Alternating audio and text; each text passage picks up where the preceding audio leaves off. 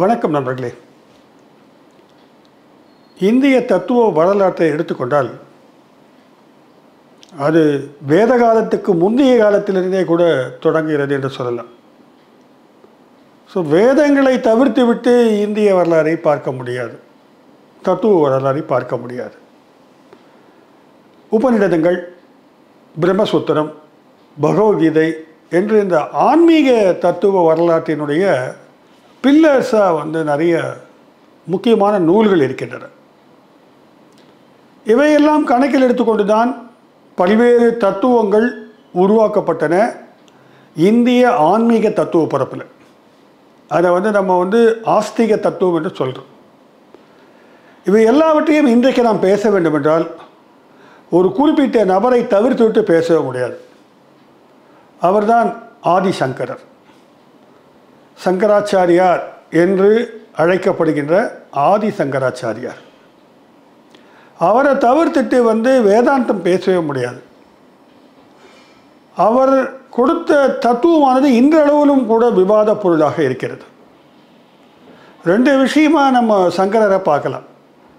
ஒன்று வந்து அவர் மீது கடுமையான குற்றச்சாட்டுக்களை விமர்சனமாக தத்துவ பரப்பிலும் பண்பாட்டு பரப்பிலும் வைக்கக்கூடிய தத்துவ பள்ளிகள் இருக்கிறார்கள். இன்னொரு ஒரு பார்த்தீங்கன்னாக்கா சங்கரர் வந்து ஒரு சிவனுடைய வாரிசாக கடவுளின் வாரிசாகவே அவரை கண்டு அவரை உச்ச நிலையில் ஒரு தெய்வ நிலையில் வைத்து அவரை வழிபட்டு வரக்கூடிய அவரை போற்றக்கூடிய பல்வேறு பக்தர்கள் இன்றளவிலும் அதிகமாக இருக்கிறார்கள். ஸோ ரெண்டு பரப்புலையுமே நம்ம வந்து பார்க்க முடியுது. எனக்கு சங்கரரை படிக்க படிக்க படிக்க எனக்கு ரொம்ப ஆச்சரியமான விஷயம் என்னென்னா அவர் ரொம்ப ப்ரில்லியண்ட்டாக ஒர்க் பண்ணியிருக்கிறாரு இந்த ஃபிலாசபி ஃபீல்டில் ஒரு சின்ன வயசில் கிட்டத்தட்ட முப்பது வயதில் இறந்து போயிடுறாரு. சின்ன வயதில் இவ்வளவு பெரிய ஒரு திறனாளியாக சங்கரன் இருந்தது வந்து மிகவும் ஒரு ஆச்சரியமான பாராட்டத்தக்க விஷயமாக கூட நம்ம சொல்லலாம். இந்த இந்திய தத்துவங்களை எடுத்து பார்த்தால் அது மரபு சார்ந்த ஆத்திக தத்துவ பள்ளிகள் உங்களுக்கு தெரிஞ்சிருக்கும். நியாயா வைசேஷிகா மீமாம்சா அதாவது பூர்வ மீமாம்சா அப்படின்னு சொல்லுவாங்க. பழங்காலத்து மீமாம்சம் அப்புறம் சாங்கியா யோகா என்ன அது வெவ்வேறு விதமான தத்துவ பள்ளிகள் எல்லாம் வந்து இருந்தன. தத்துவ பள்ளிகள் என்றால் அவங்க ஒரு ஆர்கியூமெண்ட்ஸை முன் வைப்பாங்க இந்த ஆர்கியூமெண்ட்ஸ் எதை நிரூபிப்பதற்கான ஆர்கியூமெண்ட்ஸ்னு பார்த்தீங்கன்னாக்க அந்த இறை சக்தியை குறித்த ஆர்கியூமெண்ட்ஸாக இருக்கும். இறைவனுக்கு நமக்கு என்ன தொடர்பு? நம்முடைய அறிவு எத்தகையது? எது சரியான அறிவை பெற முடியும்? இதெல்லாம் அவங்க வந்து ஓரளவுக்கு டெக்ஸ்டுவலாகவே ஒர்க் பண்ணி வச்சுருந்தாங்க. அதற்கு அடிப்படையாக வேதங்களை வேதங்கள் சார்ந்த உபநிடதங்கள் மற்றும் பிரம்மசூத்திரங்களை அவர்கள் கணக்கில் எடுத்துக்கொள்வார்கள். அதனால்தான் அவங்க ஆத்திகவாதிகள் நம்ம சொல்லுவோம். ஆனால் அது உள்ள ஆர்கியூமெண்ட்ஸ் எல்லாம் ரொம்ப ஷார்ப்பாக இருக்கும். அப்படி இருக்கும்பொழுது சங்கரர் தன்னுடைய தத்துவத்தை கட்டமைத்தது பார்த்தீங்கன்னாக்க அவர் வந்து இன்னும் கொஞ்சம் அதுக்கு ஒரு ஒரு முழுமையை கொடுப்பதாக தெரிகிறது. பிரஸ்தான திரையா என்று தத்துவத்தில் சொல்வார்கள். உபநிடதங்கள் பிரம்மசூத்திரம் அப்புறம் பகவத்கீதை. இந்த மூன்று நூல்களை தான் பிரஸ்தான திரையான்னு சொல்லுவாங்க. இந்த மூணுலேருந்தே அவர் வந்து பல்வேறு கருத்தாக்கங்களை எடுத்து வந்து ஒரு தத்துவத்தை வந்து கட்டமைக்கிறார். அவர்கிட்ட ஒரு முக்கியமான ஒரு விஷயத்தை கவனிக்க வேண்டியதாக இருக்குது வெறும் அறிவு சார்ந்த ஒரு ஒரு தீரியை ஒரு கருத்தியலை கட்டமைப்பது மட்டுமே ஒரு நல்ல தத்துவமாக அவர் ஏற்கவில்லை அதுக்கு பின்னால் ஒரு அனுபவம் இருக்குன்னு நினைக்கிறார். ஒன்று அறிவு சார்ந்த கட்டமைப்பு. நம்ம நண்பர்களோடு நிறைய பேர் வந்து நிறைய கருத்துக்கள் வைப்பாங்க. அதுக்கு பின்னால் அவங்களுடைய அனுபவம் என்பது கூட அடிப்படையான விஷயமாக தேவைப்படுகிறது. இதை சங்கரர் வலியுறுத்துவார். அனுபவம் அறிவு மட்டும் பத்தாது. அதை தாண்டி ஒரு அதை வந்து அங்கீகரிக்கக்கூடிய மூல நூல்கள் இருக்க வேண்டும். அதுதான் இங்கே ரொம்ப முக்கியமான ஒரு விஷயம். மூலமாக இருக்கக்கூடிய வேதங்கள் வேதங்களிலிருந்து எடுக்கப்பட்ட சாரங்கள் அந்த சாரங்களுடைய கருத்தாக்கங்களோடு இவை ஒத்து போகிறதா இருக்கணும். அப்போ மூணு விஷயத்தை சங்கரர் முன் வச்சிட்டார். நூல்கள் எழுதுவது என்பது அனுபவமும் அதுக்கு வந்து ஆத்தன்டிக்காக வந்து வேதிக் சோர்சஸ் இருக்குதுன்றது இப்படி ஒரு உள்வாங்கி இப்படி ஒரு மூன்று நிலைப்பாடுகளை கொண்டு இவர் உருவாக்கிய அந்த சித்தாந்தத்திற்கு பெயர் தான் அத்வைத தத்துவம் என்று பெயர். கடந்த ஆயிரத்தி ஐநூறு ஆண்டுகளாக அத்வைதம் பற்றி இந்திய பரப்பிலே பேசப்பட்டு வருகிறது. குறிப்பாக ஃபிலசாபிக்கல் ஸ்கூல்ஸில் இது ஒரு முக்கியமான டெக்ஸ்டாக கருதப்படுகிறது. ஏனென்றால் அந்த அளவுக்கு ஒரு இன்க்ளூசிவாக பல்வேறு விஷயங்களை உள்ளே சேர்த்து கோர்த்து அவர் ஒரு ஃப்ரேம் ஒர்க்கை உருவாக்கிட்டார். அப்படிப்பட்ட இந்த அத்வைதம் குறித்து பல்வேறு விமர்சனங்கள் இருக்கின்றன. அந்த அத்வைதம்னா என்ன சொல்லுது?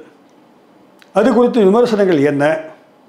என்றெல்லாம் நாம் பார்ப்பதற்கு முன்னால் ஆதிசங்கரர் குறித்த சில தகவல்களை மட்டும் பார்க்கலாம். ஏன் சில தகவல் மட்டும் கேட்டாக்க இந்த மாதிரி மகத்தான ஞானிகள் பற்றி சொல்லும் பொழுது நமக்கு வந்து சரியான ஒரு ஒரு வரலாறு கிடைப்பதில்லை. பெரும்பாலும் வந்து அந்தந்த காலகட்டத்தில் அவரவர்கள் தங்கள் புனைவுகளை சேர்த்து அதுக்கு ஒரு ஒரு பிரம்மாண்டமான ஒரு கட்டத்தை கொடுப்பாங்க. பிரம்மாண்டமான ஒரு கட்டமைப்பை முன்வைப்பார்கள். அதனால் நிறைய கதைகள்லாம் சேர்த்துப்பாங்க. சங்கரர் விஜயம் என்ற பெயரில் நிறைய அவருடைய வரலாறுகள்லாம் காணப்படுகிறது. அதில் தான் கோட் பண்ணி எழுதுகிறாங்க ஸோ அதன் அடிப்படையில் நம்ம பொதுவாக எல்லா நூல்களுமே ஏற்றுக்கொள்ளக்கூடிய சில தரவுகளை மட்டும் இந்த காணொலியில் நான் முன் வைக்க விரும்புகிறேன். தமிழில் வந்து நல்ல புத்தகங்கள் வந்திருக்கின்றன. ஆங்கிலத்தில் மிக ஆழமான ஆய்வு செய்த நூல்கள் எல்லாம் வந்து வந்திருக்கின்றன. அதில் ரொம்ப பிரமிப்பு தரக்கூடிய அளவிற்கு அந்த ஆய்வுகள் மேற்கொள்ளப்பட்டிருக்கின்றன. அதில் வந்து டாக்டர் எஸ் ராதாகிருஷ்ணனுடைய விளக்கங்கள்லாம் வந்து நமக்கு எங்கேயோ கொண்டு போகும். அந்த அளவுக்கு மிக அழகான ஆங்கிலத்தில் வந்து அவர் பண்ணியிருக்கிறார் சென்னை பல்கலைக்கழகத்தில் டிஎம்பி மகாதேவன் சொல்லுவாங்க. பேராசிரியர் டிஎம்பி மகாதேவன். அவருடைய நூல்களும் அத்வைதம் குறித்து அற்புதமாக சொல்லும். ரொம்ப அப்ஜெக்டிவாக வந்து நறுக்குன்னு பேசுகிறவர் வந்து ப்ரொஃபஸர் சச்சிதானந்த மூர்த்தி யூஜிசியுடைய வைஸ் சேர்மனாக இருந்தார். ஆந்திராவை சேர்ந்தவர். அவர் ரொம்ப வரையறையோட அத்வைதத்தை வந்து முன்வைப்பார். இப்படி பல்வேறு நபர்கள் பல்வேறு கோணங்களிலிருந்து கொடுத்துருக்கிறாங்க. ப்ரொஃபஸர் ஜிசி பாண்டே எல்லாரையும் விட மிக முக்கியமான ஒரு நபர் என்று எடுத்துக்கொண்டால் எங்களுக்கு பேராசிரியராக இருந்த பேராசிரியர் பாலசுப்ரமணியன் அவர்கள். அவர்லாம் ஒரிஜினல் டெக்ஸ்ட்டை அப்படியே வாசித்து அதற்கான உரைகளை வந்து எழுதிட்டு போயிருக்காரு. ஆனால் இதெல்லாம் வெளியில் வரவே இல்லை. ஏனென்றால் அவை பெரும்பாலும் ஆங்கிலத்தில் இருக்கின்றன. அது தமிழ் பரப்பிலே மொழிபெயர்ப்பெல்லாம் யாரும் செய்யவே இல்லை. இன்றைக்கி நம்ம மொழிபெயர்ப்புன்னு பேசுகிறோம் நிறைய டெக்ஸ்ட்டு வந்து ஃபிலாசபியில் நம்ம சமீப காலங்களில் இருந்த அறிஞர்களுடைய நூல்களையே வந்து நம்ம மொழிபெயர்ப்பு செய்ய வேண்டிய அவசியம் இருக்குது இந்த அளவில் எல்லாத்தையும் பார்க்கும்பொழுது சங்கரர் பிறந்தது கண்டிப்பாக காலடி தான் என்று உறுதியாக எல்லாருமே சொல்லிட்டாங்க. ஆனாலும் கூட சில பேர் வந்து இல்லை இல்லை அவர் பிறந்தது வந்து கிபி நாற்பத்தி நாலில் தஞ்சாவூரில் என்று கூட குறிப்பிடுகிறார்கள். வரலாற்று ஆசிரியர்களுடைய கருத்துப்படி எழுநூற்றி எண்பத்தெட்டு கிறிஸ்து பிறந்தவருக்கு பின்னால் சங்கரர் காலடியில் பிறந்ததாக கூறுகிறார்கள். சிவகுரு ஆரியாம்பா தம்பதியருக்கு இவர் பிறந்தது என்பது எல்லாருக்கும் தெரிந்த ஒரு தகவலாக இருக்கக்கூடும். சில தரவுகள் குறிப்பாக வந்து இந்த சங்கரர் வந்து என்ன பண்ணாரு? நிறைய மடங்களை எஸ்டாப்ளிஷ் பண்ணிட்டார். நாலு முக்கியமான மடங்களை வந்து ஸ்தாபித்துட்டு வச்சிருக்காரு அவங்க சில தரவுகளின் அடிப்படையில் வந்து வெவ்வேறு தேதிகளை சொல்கிறாங்க கிறிஸ்து பிறப்பதற்கு ஐநூறு ஆண்டுகளுக்கு முன்னாலேயே பிறந்து விட்டான்னு காஞ்சி மடம்லாம் கிளைம் பண்ணுறாங்க ஆக சங்கரனுடைய பிறவி குறித்து மடங்களில் சில மாறுதலான தகவல்கள் இருந்தாலும் கூட வரலாற்று ஆசிரியர்கள் வந்து கிறிஸ்து பிறந்த பிற்பாடு எழுநூற்றி எழுபத்தி ஏழு அல்லது எழுநூற்றி எண்பத்தெட்டு அது சரியாக ஃபிக்ஸ் பண்ண முடியல. இது வந்து ஒரு முக்கியமான தரவு. காலனியில் மிக ஏழ்மையான குடும்பத்தை சேர்ந்தவர் அவர். அவங்க அப்பா வந்து இறந்து போயிடுறார் சிறு வயதிலேயே. அவங்க தவம் பண்ணி ரொம்ப கடவுளுக்கு ப்ரே பண்ணி பிறந்த குழந்தை சங்கரன். அம்மா வந்து ஆரியாம்பாள். அவங்க கேட்கணுமா வறுமையில் தான் இருக்கிறாங்க. மிக வறுமையான ஒரு குடும்பத்தில் பிறந்த சங்கரருக்கு ஒரு கெப்பாசிட்டி என்னன்னாக்க சிறு வயதிலேயே எந்த ஒரு நூலை படித்தாலும் அதை அப்படியே கிரகித்து கொள்ளக்கூடிய ஒரு சக்தியானது அவருக்கு இருந்தது. ஒரு சைல்டு ப்ராடிஜின்னுவாங்க அப்படிப்பட்ட ஒரு நபர் அவர். இதனால் அவருடைய வாழ்க்கை காலம் குறுகிய காலம் அதற்குள்ளே வந்து அவர் பல்வேறு காரியங்களை சாதித்ததற்கு முக்கியமான காரணம் வந்து இந்த இந்த மனதிலே இருத்தி கொள்ளுகின்ற அந்த திறன் தான். அவருக்கு அது எக்கச்சக்கமாக இருந்திருக்கு. அப்பா என்ன செய்கிறாரு அது ஒரு நம்பூதிரி ஃபேமிலி அப்போ கல்வி என்றாலே வந்து பெரும்பாலும் வேத கல்வி க பயில்வது தான் வந்து கல்வியாக இருக்கும். அவரை பக்கத்தில் இருக்கக்கூடிய குருகுலத்தில் சேர்த்து விட்றாங்க அவர் வேதங்களை பயில்கிறார். நான்கு வேதங்களை படிக்கிறார் பயில்கிறார். பிரம்மசூத்திரத்தை படிக்கிறாரு உபனிஷத்தை படிக்கிறாரு. கிட்டத்தட்ட ஏழு வயசுக்குள்ளே எல்லாத்தையுமே சங்கரர் வந்து ஒரு ஒரு படி படிச்சிடுறார். சங்கரரின் இளம் வயதிலேயே அவர் தந்தை இறந்து விடுகிறார். அம்மா ரொம்ப கஷ்டப்படுறாங்க. எல்லா விதமான கல்வியும் கிட்டத்தட்ட பேசிக்கான இருக்கக்கூடிய டெக்ஸ்ட் எல்லாம் படிச்சிடுறாரு. அதற்கு பிறகு வந்து சங்கரர் வந்து கேள்விப்படுகிறார் இந்தூரிலே இருக்கக்கூடிய அந்த ஓங்காரந்த கோயில் இருக்கிற பக்கத்தில் இருக்கக்கூடிய கோவிந்தபாதர் என்ற ஒரு குருநாதர் எல்லாம் கற்றவராகவும் அவரிடம் சென்றால் மேலும் அறிவு செழுமைப்படும் என்றும் அறிந்து கொள்கிறார். ஆகையால் எப்படியாவது கோவிந்தபாதரை போய் சந்திக்க வேண்டும் அவரிடம் கல்வி பயில வேண்டும் என்று ஆசைப்படுகிறார். ரெண்டாவதாக எப்படியாக வந்து தான் வந்து சன்னியாசியாக ஆகிவிட வேண்டும் என்று அந்த இளம் வயதிலேயே சங்கரருக்கு தோற்றிவிட்டது அம்மா கிட்ட போய் கேட்குறாரு இந்த மாதிரி நான் கோவிந்தபாதர் என்பவரை தேடி போகிறேன். அவர் வந்து நர்மதை ஆற்றின் ஓரத்திலே ஒரு ஆசிரம் வச்சுட்டு இருக்கார். அவ்வளோ தூரம் பையனை அனுப்பணுமா? சின்ன பையனாக இருக்கான் அம்மாவுக்கு கொஞ்சம் கூட பிடித்தமே இல்லை தனக்கு வேறு யாருமே இல்லை. போகக்கூடாதுன்னு அம்மா வந்து ரொம்பவும் கம்பல் பண்ணுறாங்க போகக்கூடாது போகக்கூடாதுன்னு உறுதியாக நிற்கிறாங்க ஆனால் சங்கரன் வந்து அவங்கள வந்து ஒரு வழி கன்வின்ஸ் பண்ணிடுறாரு. இதுக்கு ஒரு இந்த இடத்துல ஒரு சின்ன ஒரு கதை ஒன்று சொல்லுவாங்க. சங்கரர் வந்து ஒரு குளத்தில் இறங்கினார். முதல்ல காலை பிடிச்சிக்கிச்சு. சங்கரர் உடனே வந்து அம்மா நான் வந்து அம்மா கரையிலேருந்து க- ரொம்ப வருத்தப்பட்டு ஐயோ ஐயோன்னு கத்துறாங்க. அப்போ சங்கரர் சொல்கிறாரு நான் வந்து இந்த மாதிரி சன்னியாசியாக மாறி இந்த ஊரை விட்டு போகணும். அதுக்கு நீ ஒப்புதல் கொடுத்தாதால் வந்து இந்த முதல்ல காலை விடுன்றாரு. உடனே அம்மாவும் பையன் உயிர் பொழைச்சா போதுன்ட்டு நான் ஒப்புதல் தருகிறேன் என்று சம்மதிக்க அந்த முதலை அவரை கடிக்காமல் விட்டுருச்சு. அப்படின்னு ஒரு ஒரு கதையை சொல்கிறாங்க அது சரியான கதையா இல்லையான்றதை விட சங்கரர் அம்மாவிடம் அழுத்தம் கொடுத்து ஒரு முடிவுக்கு வந்துட்டார். அம்மா என்ன சொல்கிறாங்க சரி நீ கிளம்பி போ. ஆனால் ஒரே ஒரு எனக்கு வாக்கு கொடுக்க வேண்டிட்டாங்க நான் இறக்கிற தருணத்திலேயாவது நீ வந்து எனக்கு ஈவச்சடங்குகளை செய்ய வேண்டும் என்கிறார். இந்த சங்கரர் வந்து சரிம்மா கண்டிப்பாக செய்கிறேன் சத்தியம் செய்து கொடுக்குறாரு. இது ஒரு சின்ன சிக்கல் இருக்குது என்னன்னாக்க சன்னியாசி ஆகிவிட்டவர்களுக்கு இந்த அம்மாவுக்கு ஈமக்கிரி பண்ணுறதெல்லாம் வந்து வழக்கமாக அப்போது அந்த காலத்தில் கிடையாது. இதை மீறி தான் வந்து சங்கரர் வந்து அந்த வாக்குறுதியை அங்கே கொடுக்குறாரு.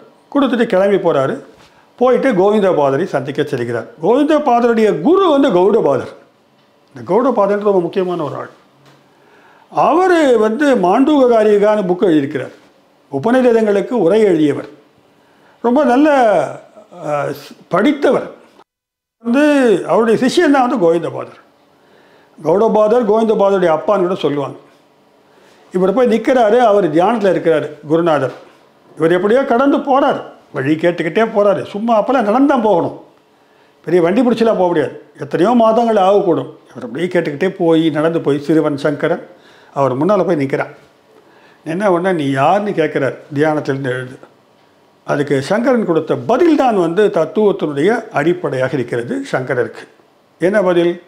நான் நீரும் அல்ல நிலமும் அல்ல காற்றும் அல்ல ஆகாயம் அல்ல நான் மனமும் அல்ல நான் மூளையும் இல்லை நான் அறிவும் அல்ல நான் அனைத்தும் கடந்த பிரம்மனுடைய அங்கம் என்று குறிப்பிடுகிறார். இது ரொம்ப ஒரு ஒரு ஆச்சரியத்தையும் அதிர்ச்சியும் கொடுக்குது குருநாதருக்கு. இப்படி ஒரு ஒரு ஒரு தத்துவார்த்த விளக்கத்தை தன்னை குறித்து ஒருத்தன் விளக்குகிறான் என்றால் அவன் எப்படிப்பட்ட ஒரு மாணவனாக இருப்பான் என்று அவருக்கு புலங்காகிதம் அடைந்து விடுகிறது. உடனே அப்படி கு சொல்கிறாங்க கதையில் சொல்கிறாங்க அப்படி கொடுத்து வாரி அணைத்து கொண்டு வா தம்பி எங்கேருந்து வரை கேட்குறாரு. நான் அந்த மாதிரி காலடியிலேருந்து வரேன் விவரத்தெல்லாம் சொல்கிறார் உடனே சங்கரரை இவர் வந்து சீடராக்கி சேர்த்துக்கொள்கிறார் சங்கரர் அவருடைய இருந்து வந்து பயில்கிறார். கிட்டத்தட்ட ஒன்றரை ஆண்டிலிருந்து மூன்று ஆண்டுகள் அவரோடு இருந்ததாக சொல்லப்படுகிறது. அவர்கிட்ட இருக்கும்போது தான் இவருக்கு அத்வைத தத்துவத்தினுடைய சில அடிப்படையான கருத்துக்கள் வந்து கிடைச்சிருக்கு. அவருக்கு கௌடபாதரிடமிருந்து கிடைத்திருக்கிறது. அது என்ன அடிப்படையான விஷயங்கள்னாக்கா பின்னால் பேச போகிறோம் இந்த மாய தத்துவம்னு. உலகே மாயை இல்லை சொல்லுவாங்க இல்லையா? மாயை அவித்யா அறியாமை. இந்த மாதிரி ஒரு பிரம்மன் பிரம்மன் தான் அனைத்து உண்மையாக இருக்கிறது. இது எல்லாமே சங்கரர் புதிதாக உருவாக்கிய தத்துவம் அல்ல. ஏற்கனவே பேசிக்கொண்டே வந்த ஒரு தத்துவம் தான் அதை வந்து உள் வாங்கிக்கிறார் கோவிந்தபாதர் வந்து அவருக்கு ரொம்ப ஆழமான தத்துவங்களை எல்லாம் முன்வைக்கிறார் ஏனென்றால் அப்படிப்பட்ட ஒரு ஞானம் கொண்ட ஒரு சிறுவர் பிறகு இவர் சொல்கிறார் ஐயா நான் வந்து இன்னும் மேலும் இதை கற்றுக்கொண்ட விஷயங்களை வந்து நான் பரிசோதிக்க விரும்புகிறேன். இதான் ஒரு அகடமிக் வேல்யூ அட்வைஸாக வருது. ஆனால் சங்கரனுக்கு வந்து அதை வேலிடேட் பண்ணோம் இங்கிலீஷில் வேலிடேஷன் வாங்க. அதாவது நாம் சொல்லுகின்ற விஷயம் சரியான விஷயம் தானா என்று பரிசோதிக்க வேண்டும். இதை பரிசோதிக்கணுனாக்கா எங்கே போகணுனாக்கா எங்கெல்லாம் இந்த இந்த ஆன்மீக அறிஞர்கள் இருக்கிறார்களோ அங்கே போகணும். ஆன்மீக அறிஞர்கள் அதிகமாக வாழ்ந்து கொண்டிருந்த ஒரு பூமி தான் வந்து வாரணாசி காசி. வாரணாசிக்கு போயிடணும். அங்கே போயிட்டா எல்லா விதமான தத்துவ பள்ளிகளுக்குரிய நபர்களும் அங்கே வந்து நடமாடுவாங்க. அவங்களோட உரையாடல்களை மேற்கொள்ளலாம். அந்த காலத்தில் இன்னொரு விஷயம் இருந்தது. ஒரு ஃபிலாசபியை நீங்கள் கன்ஸ்ட்ரக்ட் பண்ணிட்டீங்கன்னாக்க அதை வந்து நிலைநிறுத்த வேண்டும் என்றால் நீங்கள் வந்து வாதப்போர் புரிய வேண்டும். இந்த ஒரு இது எதிர்மாறான தத்துவத்தில் இருப்பார் இல்லையா? அவங்களோட உட்காந்துட்டு பப்ளிக்கில் ஒரு டிபேட் நடக்கும். அந்த டிபேட்டில் யார் ஜெயிக்கிறாங்களோ அந்த தத்துவம் ஜெயிக்கும். அவர் ஜெயிக்க மாட்டார். இந்த தத்துவம் ஜெயித்து விடும். அதற்கு எதிராக வைத்திருந்த தத்துவமானது இனி பேசப்படாமலே போய்விடும். அதை பற்றி அவர் பேசக்கூடாது. அங்கே சங்கரர் என்ன ஒரு ஃபீல் பண்ணிட்டாரு? நம்ம உருவாக்கி இருக்கிற உணர்ந்திருக்கின்ற நாம் சிந்தித்து வடிவமைத்து இருக்கின்ற ஒரு தத்துவ கட்டமைப்பை பரிசோதித்து பார்ப்போம். உரையாடல் நிகழ்த்தி பார்ப்போம். ஏதோ உரையாடல்னா புரிந்து புரியா நட்பு ரீதியாலாம் இல்லை. டிபேட் தான் அது. அது ஒரு ஆழமான ஒரு விவாதமாக ஆகக்கூடும். அதெல்லாம் தெரிஞ்சுதான் போகிறாரு எங்கே போகிறாரு வாரணாசிக்கு போகிறாரு அங்கே போய் சங்கரர் வந்து சில உரைகளை அங்கே இருக்கிறவங்களுக்கு கொடுக்கும் பொழுது சங்கரருடைய அந்த அறிவானது பல்வேறு சிஷ்யர்களை ஈர்க்கிறது. வாரணாசி என்று சொன்னால் சமணத்தை ஸ்தாபித்த மகாவீரரும் புத்தரும் அங்கே போயிருக்கிறாங்க. அங்கே நிறைய ஞானிகள் வந்துட்டு வந்துட்டு போகிற இடம் அது. ஏன்னா கங்கை நதி. கங்கை நதி மீது ஒரு அப்படிப்பட்ட ஒரு ஒரு இமேஜ் எல்லாருக்குமே இருக்குது அங்கிருந்து அவர் அத்வைத்தை செழிவுபடுத்தும் பணியையும் பரப்பும் பணியும் மேற்கொள்ள தொடங்குகிறார். வாரணாசியில் இருக்கும்பொழுதுதான் சங்கரர் அவர்கள் பகவத்கீதை உபநிடதம் பிரம்மசூத்திரம் ஆகிய முக்கியமான மூன்று பெரும் நூல்களுக்கு உரை எழுதுகிறார். இதில் உபநிடதங்கள் எழுது பார்த்தீங்கன்னாக்க கிட்டத்தட்ட இரநூறுக்கு மேலே இருக்கின்றன. சங்கரர் வந்து ஒரு பத்து மட்டும் செலக்ட் பண்ணுறார் ஏன்னாக்கா அவருடைய இந்த அத்வைத சித்தாந்தத்திற்கு ஒத்துப்போகக்கூடிய நூல்களாக அவைகளை தேர்ந்தெடுக்கிறார். அப்படி கூட பார்த்தா அதற்குள்ள நிறைய முரண்கள்லாம் இருக்கின்றன. அது ஒட்டுமொத்தமாக சங்கருடைய தத்துவத்திற்கு துணை நிற்பவையாக இல்லை என்றாலும் கூட முக்கியமான புள்ளிகளில் வந்து அவை வந்து சேருகின்றன. அதனால் அங்கே வந்து பெரிய ஒர்க்கப்பட்டார். பிரம்மசூத்திரத்துக்கு வந்து கமெண்ட்ரி எழுதியதுன்றது வந்து பெரிய விஷயம். அதாவது ஒரு இளம் வயதிலேயே ஒருவர் செய்திருக்கிறார்னால் அது அவர் மேலே எக்கச்சக்கமாக கவன குவிப்பு ஏற்பட்டது. அங்கே இருக்கும்பொழுது நிறைய சம்பவங்கள் வந்து கதையாக சொல்லப்படுகின்றன. அவர் சங்கரனுடைய வாழ்க்கையில் நடந்த நிறைய சம்பவங்கள் வந்து கதைகளாக சொல்லப்படுகின்றன. அது கதை நானே சொல்லிட்டேன். ஆனால் சில இதெல்லாம் வந்து எல்லா நூல்களிலுமே காணப்படுகின்றன. தொடர்ந்து வந்து குறிப்பிடுகிறார்கள். அதில் மிக முக்கியமான ஒரு விஷயம் இருக்கிறது. சங்கரர் என்ன பண்ணுறாரு அந்த நதியில் குளிக்கிறதுக்காக போகிறாரு கங்கை நதியில் குளிக்கிறதுக்காக போகிறார் நம்ம எல்லாருக்கும் தெரிஞ்ச விஷயந்தான் அது. அவருக்கு எதிர வந்து ஒரு தீண்டத்தகாத சாதியை சேர்ந்த நபர் வந்து விடுகிறார். எதிரே வந்துடுறார் அவர். அவர் வந்தவுடனே விலகி போ விலகி போன்றார் அவர். அவர் சொல்கிறார் விலகி போ விலகி போன்றார் அவர் கேட்குறாரு யாரை விலகச் சொல்லுகிறாய்?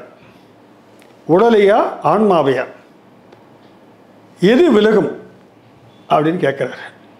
இந்த கேள்வி கேட்ட உடனே சங்கரர் இதுகாரம் தான் மண்டைக்குள்ளே போட்டு அப்படியே ஊற வைத்து கொண்டிருந்த அத்வைத தத்துவத்தை வந்து ப்ராக்டிக்கல் லைஃப்பில் வந்து சென்ஸ் பண்ணுறாரு ரொம்ப ஷாக் ஆகிடுது சங்கரருக்கு. நம்ம எவ்வளோ கேவலமாக யோசிச்சிட்டோம். ஆன்மாவும் பிரம்மனும் உழலும் எல்லாமே ஒன்று தான் நம்ம நினச்சிக்கிட்டு இருந்தோமே. மாயை தானே தடுக்குது. அவித்தை தானே தடுக்குதுன்னு சொல்லிக்கிட்டு இருந்தோமே.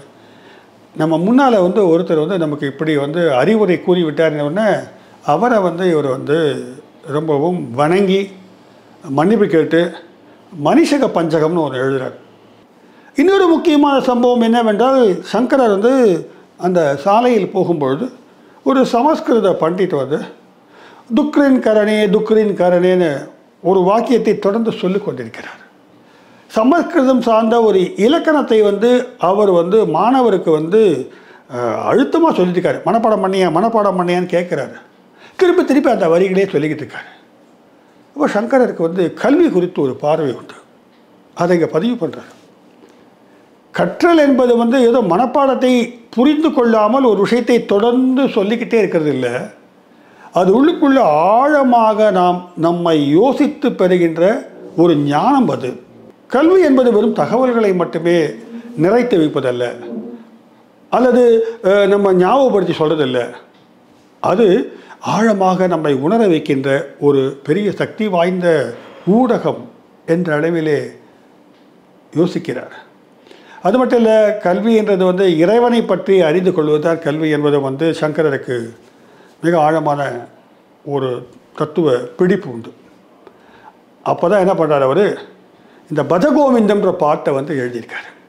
பஜகோவிந்தம் பஜகோவிந்தம் பஜகோவிந்தம் மூடபத்தேன்னு ஒரு பாட்டு இருக்குது இந்த பஜகோவிந்தம் என்ற பாடலை வந்து எழுதியிருக்கிறார். அது திருமதி எம். சுப்புலட்சுமி அம்மா கூட பாடி ரொம்ப பாப்புலர் ஆயிடுச்சு.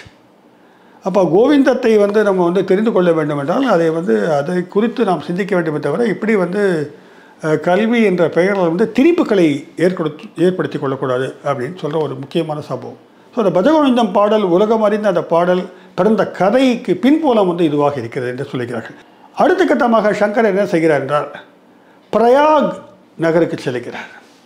பிரயாக் நகருக்கு எதுக்கு போகிறார்னாக்க அங்கே தான் குமரில பட்டர் என்பவர் இருக்கிறார். பூர்வ மீமாம்சத்தை அங்கே தூக்கி நிறுத்தி கொண்டு இருக்கின்ற குருநாதர் வந்து குமரில பட்டர் அவர்கிட்ட நம்ம வந்து விவாதம் செய்து அந்த பூர்வ மீமாம்ச கோட்பாடுகளை நான் வந்து தோற்கடித்து விட வேண்டும் அப்படின்னு நோக்கத்தில் போகிறார் இந்த பூர்வ மீமாம்சம் சொல்லும் பொழுது என்ன அர்த்தம்னாக்கா அது கர்ம காண்டத்தை வலியுறுத்தக்கூடியது. கர்ம காண்டம் என்றால் செயல்களை செய்யறது தான் அது மட்டுமல்ல அந்த காலகட்டத்தில் வந்து தேவையில்லாத நிறைய ரிச்சுவல்ஸ் சடங்குகள் ஏராளமாக இருந்தன. மிக முக்கியமான ஒரு விஷயமாக கவனிக்க வேண்டியிருக்கு. வேதங்காலங்கள் வேதங்கள் சார்பாக இருந்த முன்மொழியப்பட்ட பல சடங்குகளை வந்து மக்கள் வந்து ஓவரா சடங்காச்சாரங்களில் வந்து ஈடுபடத் தொடங்கி விட்டார்கள். அப்பொழுது அந்த இந்து மதமானது வந்து பலவீனப்பட்டு போய்விட்டது. அந்த காலகட்டத்திலே வந்து சடங்கு ஆச்சாரங்களை மறுத்த பௌத்தமானது எழுந்திருக்கிறது. ஒருபுறம் சமணம் எழுந்திருக்கிறது. இவங்கெல்லாம் வந்து ஒரு செழுமையான ஆன்மீகத்தை வந்து பேசிக்கொண்டிருக்கிறார்கள் இவருக்கு இங்கே இந்து மதத்தில் பார்த்தா எல்லா சடங்குகளை மட்டுமே சம்பிரதாயங்களும் செஞ்சுக்கிட்டு இருக்காங்க. அந்த கோர் ஃபிலாசபியெல்லாம் மிஸ் பண்ணிட்டாங்க. அதை முன்வைப்பது வந்து பூர்வ மீமாம்சம். இன்னும் சொல்லப்போனால் வந்து பலி கொடுப்பது என்பது. பொதுவாக ஆடு மாடுகள் மட்டுமல்ல நரபலி கூட கொடுத்துருக்குறாங்க அந்த காலகட்டத்தில் காபாலிகர்கள்லாம். நரபலி அங்கங்கே இப்படி ஒரு ரொம்ப அதீதமான மூடநம்பிக்கை கொண்ட சடங்குகள் இருப்பதை வந்து சங்கரர் வந்து பார்த்து இவற்றை நாம் நிறுத்தினால்தான் இந்த இந்து சனாதன தர்மமானது வளர்ச்சி பெறும் என்று நம்புகிறார். ஆக அவர் வந்து இதை வந்து நிலைநிறுத்த வேண்டும் என்றால் முதல்ல குமரிலை பற்றி போய் ஆர்கியூ பண்ணணும். அவர் அந்த பூர்வ மீமாம்சம் இதெல்லாம் சரின்னு சொல்லவர் அவர்கிட்ட போகிறார் ஆனால் என்ன ஆயிடுச்சுன்னா அவர் தன் உயிரை தானே போக்கிக் கொள்ளுகின்ற ஒரு காரியத்தில் ஈடுபட்டிருக்கிறார். அவங்க சொல்கிறாங்க இந்த நெல் வைக்கோல் இருக்குது பார்த்தீங்களா அதையெல்லாம் பரப்பிட்டு அதில் தன் உடலை கிடத்தி கொஞ்சம் கொஞ்சமாக அதில் நெருப்பு வச்சு தன் உடலை வந்து அவர் எரித்துக்கொள்ள ஆரம்பிச்சிருக்கிறார். தானாகவே அப்போல்லாம் வந்து அவங்கவுங்க அவங்கவுங்க செத்து போயிடலாம் இஷ்டப்பட்டாக்க. அவர் வந்து உடலை வந்து நெருப்பு வச்சு இந்த உயிரை இழப்பதற்கான வேலைகளை பார்த்துட்ருக்காரு சங்கரர் போய் நிற்கிறார் ஐயா உங்களோட ஆய்வு பண்ண வரலான்னு வந்தேன். நீங்கள் இப்படி நிலைமையில் இருக்கீங்களே? அப்படின்னு கேட்குறாரு அவர் சொல்றாரு உண்மைதான். நான் வந்து ஒரு பெரும் தவறை செய்து விட்டேன். அந்த பாவத்தை பண்ணிட்டேன். அந்த பாவத்தை போக்குறதுக்காக தான் நான் உடலையிலிருந்து இந்த உயிரை இப்படி நீக்கிக் கொள்கிறேன் அப்படின்னு சொல்கிறாரு என்ன பாவம் பண்ணீங்கன்னு கேட்குறாரு ஒன்றுமில்லை பௌத்த தத்துவத்தை தோற்கடிக்க வேண்டும் என்பதற்காக பௌத்த குருநாதரிடம் ஒரு பௌத்தனாக போய் நான் வந்து சீடனாக சேர்ந்து கொண்டேன். ஒரு சீடனாக வேஷம் போட்டுட்டு அங்கே போய் இருந்து அவர்களுடைய பழக்க வழக்கங்கள் தத்துவங்களை எல்லாம் கற்றுக்கொண்டு வந்து பின்னர் அவர்களையே நான் வாதப்போருக்கு அழைத்து தோற்கடித்து விட்டேன். இது குருநாதருக்கு செய்த மாபெரும் துரோகமாகும். அது மனசில் அரிச்சுக்கிட்டே இருக்கு. என்னதான் வந்து பௌத்தத்தை தோற்கடித்தாலும் என் மனதானது வந்து அதை போட்டு அப்படியே தொந்தரவு பண்ணிகிட்டே இருக்குது அதனால் நான் வந்து உயிரையே கொடுக்குறதா முடிவு பண்ணி இந்த காரியத்தில் ஈடுபட்டிருக்கேன் என்னால் உங்களோட ஆர்கியூ பண்ண முடியாது இப்பொழுது. நீங்கள் வந்து என்னோட போல விவாதம் செய்ய வேண்டும் என்றால் இன்னொருத்தர் இருக்கிறார். மண்டன மிஸ்ரா என்று இருக்கிறார். அவரை போய் பாருங்கள் அவர் வந்து உங்களோட உரையாடல் நிகழ்த்துவார் அவரை நீங்கள் வைத்து விட்டீர்கள் என்றால் உரையாடலில் நிச்சயமாக இந்த பூர்வ மீமாம்சத்தை நீங்கள் தோற்கடித்து விட்டதாக எடுத்துக்கொள்ளலாம்ன்றார் ஆக இவர் மண்டன மிஸ்ராவை தேடி செல்லுகிறார். உண்மையிலே நண்பர்களே இந்த கதையெல்லாம் சொல்லாமல் தத்துவத்துக்கு போகலாம் தான் நான் நினச்சேன். ஆனால் கதைகள் வந்து முக்கிய பங்கு வகிக்கின்றன. அதனால தான் நம்ம விளக்கமாக அவருடைய வாழ்க்கையில் நடந்த விஷயங்களை சொல்ல ஆசைப்பட்டவோட சுருக்கமாக உங்கள் முன்னால் வைக்கிறோம். அதுக்கு பிறகு அந்த தத்துவத்தையும் நம்ம சொல்ல தான் போகிறோம் எங்கே நிறுத்தினேன் மந்தன மிஸ்ரரை பார்க்க போகிற முயற்சியில் ஈடுபட்டான்னு சொன்னேன். மந்தன மிஸ்ரா தான் வந்து மிக முக்கியமான ஒரு டேர்னிங் பாயிண்ட்னு சொல்லலாம். அவர்கிட்ட ஆர்ஜி பண்ணுறதுக்கு போகிறார் அவர் எப்படின்னா அவர் வந்து கிரகஸ்தன் திருமணமானவர் மனைவி உபய பாரதி அவர் சடங்குகளில் வந்து ரொம்ப நம்பிக்கை கொண்டவர். இவர் போகிற நேரத்தில் அவங்க அம்மாவுக்கான திதி கொடுத்துக்கிட்டு இருக்கார் அவர். சங்கரர் போன உடனே நான் உங்களோட விவாதம் பண்ண வந்திருக்கிறேன்றாரு. நீ யாரியா? எங்கே வந்த? எனக்கெல்லாம் டைம் இல்லை. அப்படின்னு கடு கடு கடுன்னு அவரை வந்து வெளியேற்றிருக்கிறார். அப்போது இவர் என்ன செய்கிறாரு? எனக்கு ஒரு பிச்சை போட வேண்டும் என்று ஒரு சன்னியாசிக பிச்சை கேட்கிறார். என்ன பிச்சைன்றார் என்னோட வாதம் செய்ய வேண்டும் என்ற பிச்சை அவருக்கு சங்கடமாயிடுது. வேறு வழி இல்லை. சரி நாளைக்கு வாங்கன்றார் மறுநாள் சென்றவுடன் நான் என்னுடைய கோட்பாட்டை அத்வைத கோட்பாட்டை வைத்து நான் உங்களோடு விவாதிக்க விரும்புகிறேன். நீங்கள் பூர்வ மீமாசத்தை பேசுங்கள்றார் சரின்றார் அப்போ இதுக்கு ஒரு நடுவராக யாரை போடுவது யோசிக்கும் பொழுது மந்திரமிஸ்வருடைய மனைவி வந்து உபயபாரதி வந்து அவங்களும் அவருக்கு ஈக்குவலாக வந்து தத்துவத்தில் வந்து ரொம்பவும் திறமையானவர். கிட்டத்தட்ட நினைவில் ஒரு பார்ட்னர்ஸ்னால் இருந்த ரியல் சென்ஸில் பார்ட்னர்ஸாக இருந்தவங்க. அவர்களே நடுவராக இருக்கட்டும் என்று சங்கரரும் ஏற்றுக்கொள்கிறார். அவங்க என்ன சொல்கிறாங்க அப்போது இரண்டு மாலைகள் போடுறாங்களாம். இவருக்கு ஒரு மாலை அவருக்கு ஒரு மாலை. நீங்கள் ஆர்கியூ பண்ணிட்டே இருங்க. யாருடைய மாலை வாடி போகிறதோ அவர் தோற்று விட்டதாக அர்த்தம்ன்றாங்க. இன்றைக்கு நீங்கள் இந்த பகுத்தறிவு கொண்டு யோசிக்கும் போது இது என்ன ஏன்னு தோணும். ஆனால் இது இது இந்த மாதிரியான ஒரு சிம்பாலிக்கான கதைகள் இதெல்லாம். நம்ம வந்து இது வந்து இந்த இமேஜரிஸ்ன்னு சொல்லுவாங்க குறியீடுகள் வாங்க அந்த அளவில் தான் இந்த இந்த மாதிரியான பழங்காலத்து தொன்மையான விஷயங்களை புரிஞ்சிக்க முயற்சி பண்ணணும் இது என்னுடைய அபிப்பிராயம் அப்படி. ஆக இரண்டு மாலைகள் போடுறாங்க. இவருக்கு ஒரு மாலை அவருக்கு மாலை. கிட்டத்தட்ட ஒரு பதினேழு நாள் விவாதம் செல்லுகிறது. பதினேழு நாள் போவதனுடன் சங்கரரும் தன்னுடைய இதெல்லாம் எடுத்து வைக்கிறாரு அவரும் பேசுகிறாரு பதினேழாவது நாள் வந்து மண்டன மிஷரருடைய மாலையானது வாடத் தொடங்குகிறது. ஆக மண்டன மிஷரர் தோற்றுவிட்டார் என்று அந்த அம்மா சொல்கிறாங்க இப்போ சங்கரர் வந்து நான் தான் வெற்றி பெற்று விட்டேன்னு சொல்கிறார் இல்லை இல்லை. அவர் இதில் பாதி நான். என்னோட நீங்கள் வந்து விவாதம் செய்து வெற்றி கொள்ள வேண்டும் அப்படின்னு சொல்கிறாங்க ஒரு பெண்ணோடு நான் விவாதம் செய்ய மாட்டேன் என்று சங்கரர் சொல்கிறார் இல்லை நானும் வந்து கற்றறிந்த ஒரு பெண் தான். என்ன நீங்கள் வெற்றி கொண்டு விட்டால் எங்கள் தத்துவத்தையே தோற்கடித்து விட்டதாக கருதலாம் அப்படின்னு சொல்கிறாங்க சரின்னு ஏற்றுக்கொள்கிறார் சங்கர் அவங்க உரையாடலை அந்த விவாதத்தை தொடங்குகிறார்கள். இந்த அம்மா என்ன பண்ணிட்டாங்க? கொஞ்ச நாள் விவாதம் ஆன உடனே ஒவ்வொரு நாள் ரெண்டு மணி நேரம் மூணு மணி நேரம் விவாதிப்பாங்கன்னு நினைக்கிறேன். இவங்க வந்து இல்லறத்திலிருந்து சில விஷயங்களை கேட்க ஆரம்பிச்சிட்டாங்க. குறிப்பாக ஆண் பெண் இந்த பாலியல் உறவு குறித்த சில கேள்விகளை சில கருத்துக்களை முன்வைக்க தொடங்கிவிட்டார்கள். இளம் சங்கரனும் கட்டை பிரம்மச்சாரி. இதை பற்றிலாம் அவருக்கு பெரிய அனுபவம் கிடையாது. ஆகையினால சங்கர் என்ன சொல்கிறாரு நிறுத்திக்கிறீங்க. இந்த கேள்விகளுக்கான பதில் தான் இப்போ என்னால் சொல்ல முடியாது. அப்படி என்றால் நீங்கள் தோற்று விட்டதாக எடுத்துக்கொள்ளலாமா? அப்படின்னு கேட்குறாங்க இல்லை இல்லை. எனக்கு ஒரு மாதம் டைம் கொடுங்க. இது குறித்து நான் அறிந்து கொண்டு வருகிறேன் அப்படின்ட்டு டைம் வாங்கிட்டு சங்கரர் போயிடுறார். இது முக்கியமான ஒரு விஷயம் என்னென்னா சங்கரர் திருப்பி காசிக்கு போகிறாரு போனவர் அங்கே இருக்கிற மன்னன் இறந்து விடுகிறார். இறந்து விட்ட அந்த சடலத்துக்குள் கூடு விட்டு கூடு பாய்ந்து விட்டார் சங்கரர் என்பது கதை. இந்த கதை வந்து நிறைய புத்தகங்களில் வந்து இருக்குது கூடு விட்டு கூடு பாய்கிறாரு. தன்னுடைய உடலை ஒரு குகையில் வைத்து அதை பாதுகாப்பாக சீடர்களிடம் சொல்லி நான் ஒரு மாதம் அங்கே இருப்பேன். இந்த மன்னராக நான் இருப்பேன். பிறகு திரும்பி வந்து இந்த உடலுக்குள்ளே வந்து விடுவேன் உடலை பாதுகாத்து வையுங்கள். அப்படின்னார். அந்த மன்னராக அவர் வந்து உருப்பெற்று திருப்பி எழுந்திருக்கிறாரு. ஆச்சரியப்படுறாங்க. அந்த மன்னருடைய மனைவியான ராணியோடு இவர் வந்து உறவு கொள்ளுகிறார். அப்போ தொடர்ந்து வாழறாருங்க. சுகபோகங்களில் வந்து சங்கரன் வாழ்கிறார். அந்த சுகங்களை அனுபவிக்கிறார். இது சம்பந்தமான நுணுக்க நுணுக்கங்களை தெரிந்து கொள்கிறார். சங்கரர் மறுபடியும் அந்த விடலை வெட்டி நீங்கி தன்னோட உடலுக்குள் போகிறார் அரசன் இறந்து விடுகிறார். இந்த உடலோடு சங்கரன் என்ன பண்ணுறாரு நேர மகிஷ்மதிக்கு போகிறார் மகிழ்மதி. உங்களுக்கு மகிழ்மதி தெரிஞ்சிருக்கும்.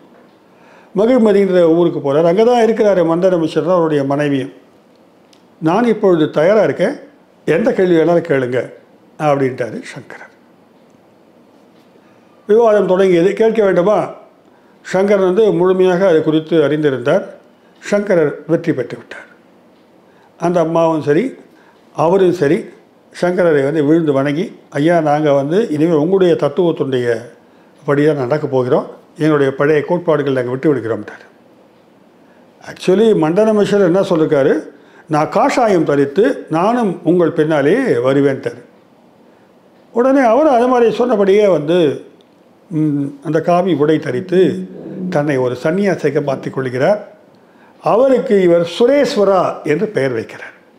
இந்த சுரேஸ்வரான்றது மிக முக்கியமான பெயர் அத்வைதத்தில். அவர் எழுதிய நூல்கள் கூட இருக்கின்றன. இந்த சுரேஸ்வரர் எழுதிய நூலுக்கு உரை வந்து ப்ரொஃபஸர் பாலசுப்ரமணியன் எழுதியிருக்கிறார். சுரேஸ்வருடைய மனைவி அவங்களும் கூடவே வராங்க.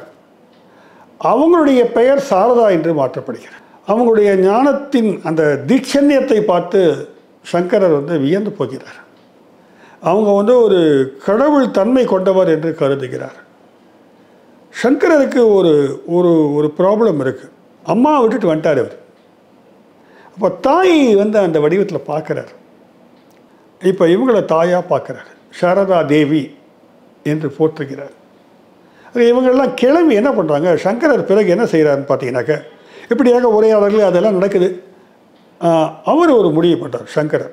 இங்கே தான் சங்கரர் வந்து இந்த ஃபிலாசபியை கன்ஸ்ட்ரக்ட் பண்ணும்போது பௌத்தத்தில் இருக்கக்கூடிய சில முக்கியமான விஷயங்களை அப்படியே உள்வாங்கிக் கொள்கிறார். பிற தத்துவங்களில் வந்து ஏற்புடையதாக இருக்கக்கூடிய கருத்துக்களையும் எடுத்துக்கொள்கிறார் இது எல்லாத்தையும் தான் உள்வாங்கிக்கிறார். உள்வாங்கிட்டு ஒரு ஃபிலோசாஃபிக்கல் சிஸ்டத்தை கன்ஸ்ட்ரக்ட் பண்ணுறார் அதை விரிவாக பார்க்க போகிறோம் இதை பரப்ப வேண்டும் இது மற்றவர்களுக்கு தெரிய வேண்டும். நானே எழுதி வச்சு தான் பண்ணுறது எல்லாருக்கும் போகணும் இல்லையா? அந்த கருத்தில் அவர் என்ன பண்ணுறாரு நான்கு மடங்களை ஸ்தாபிக்கிறார். அதில் முதல் மடம் தான் வந்து மைசூரில் சிருங்கேரியில் இருக்கக்கூடிய மடம். அதற்கு சிருங்கேரி சாரதா பீடம் என்று பெயர் வைக்கிறார். ஆக இவங்க எல்லோரும் அங்கே போகிறாங்க சுரேஸ்வரா தான் அங்கே வந்து முதல் தலைவராக அந்த மடத்திற்கு பொறுப்பேற்கிறார். அங்கே இருக்கும்பொழுது வந்து சாரதா அம்மையாருக்கு உடல்நிலை குன்றி இறந்து விடுகிறார்கள். சாரதா அம்மையார் இறந்த உடனே அவங்கள நினைவிடத்தை ஒரு ஒரு கோவிலாக வந்து ஸ்தாபிக்கிறார். சங்கரர். இந்த ஸ்தாபிக்கும் போதும் ஒரு விஷயம் இருக்குது ஒரு சக்கரத்தை வந்து வடிவமைக்கிறார். உங்களுக்கு தெரிஞ்சிருக்கு இந்த சக்கர சக்கரங்கள் பார்த்துருப்பீங்க. தகடுகளில் கூட சக்கரங்கள்லாம் செய்வாங்க. ஒரு எந்திர சக்கரத்தை எந்திரம்னு சொல்லுவாங்க அதை. ஒரு எந்திரத்தை வடித்து அதில் தாமரை மலை மீது அம்மை இருக்கிற போல உருவாக்கி ஒரு சின்ன கோயிலை உருவாக்குறார். இன்றைக்கி மிகப்பெரிய கோயிலாக அது மாறிடுச்சு. சரதாம்பாள் டெம்பிள். ஆக அவங்களுக்குரிய அந்த மரியாதையை வந்து அவர் செலுத்திக்கிறார் அந்த இடத்துல அவர்.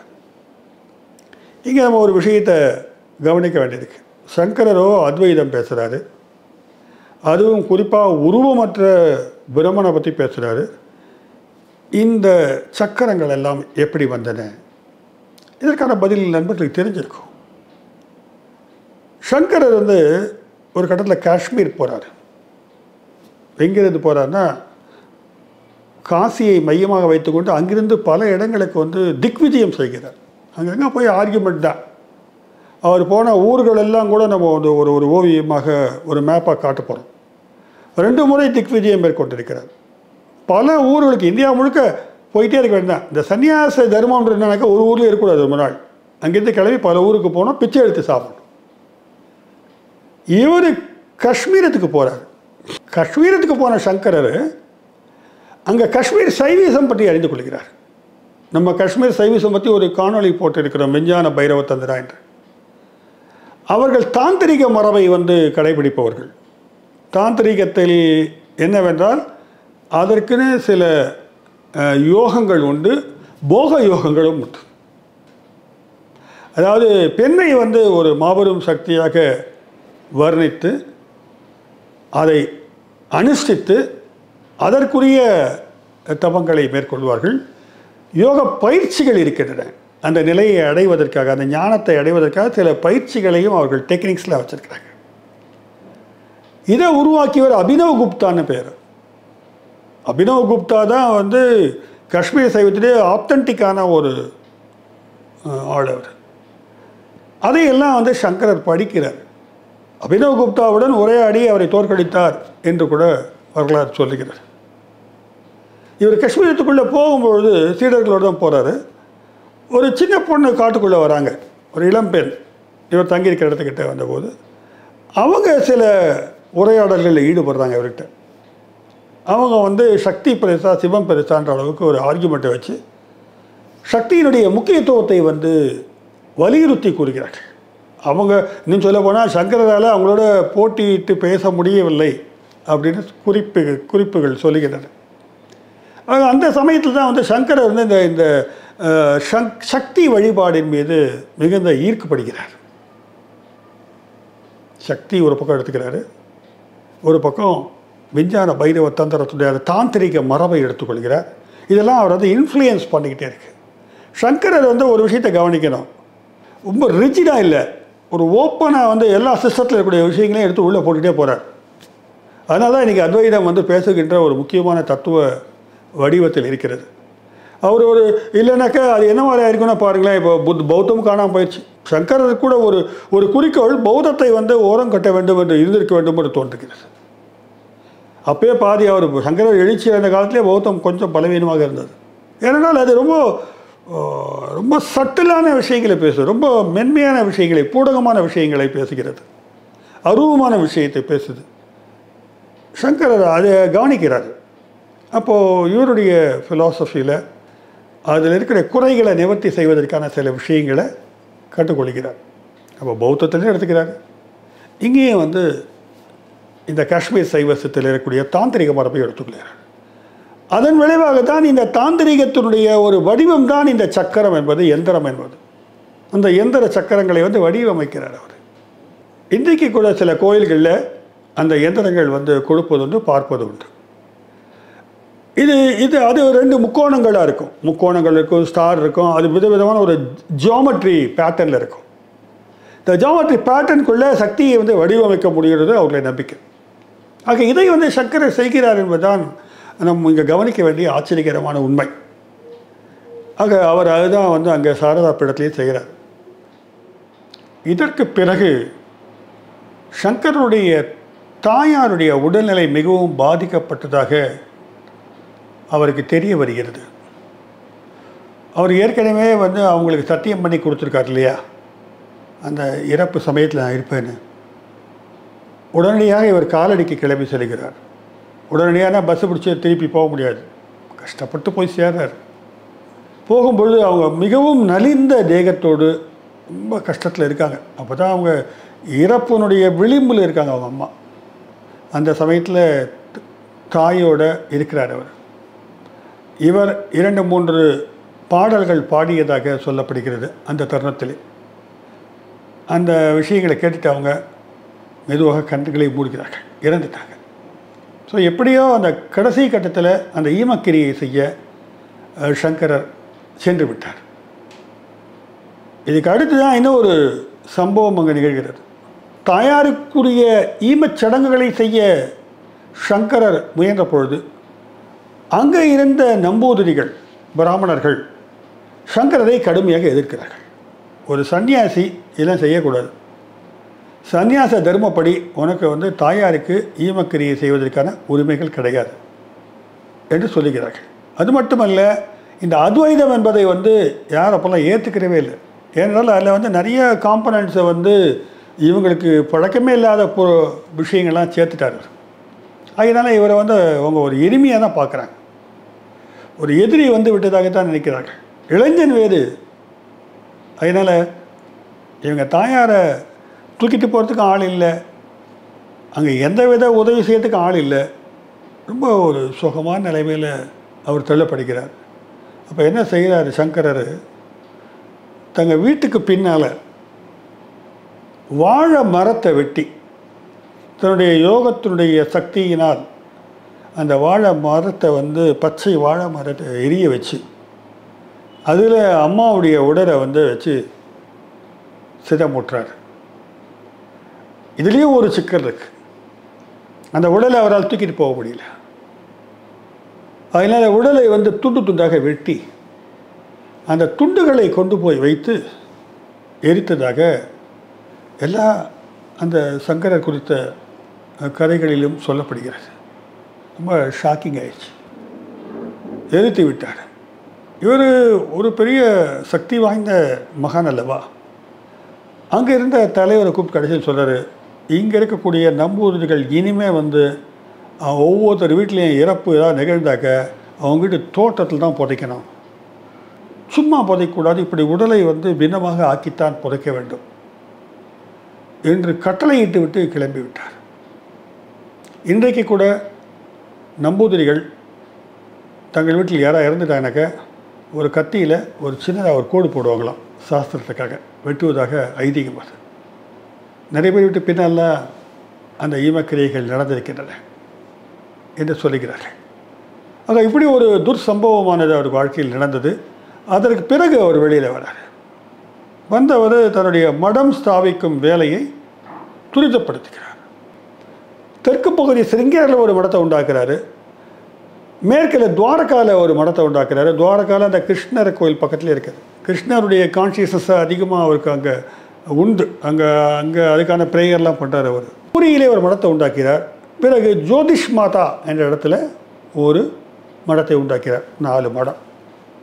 இதுலேயும் ஒரு பெரிய சிக்கல் இருக்குது என்னன்னு கேட்குறீங்களா? காஞ்சிபுரத்தில் சங்கராச்சாரியர் மடம் இருக்கிறது. அது ஐந்தாவது மடம்.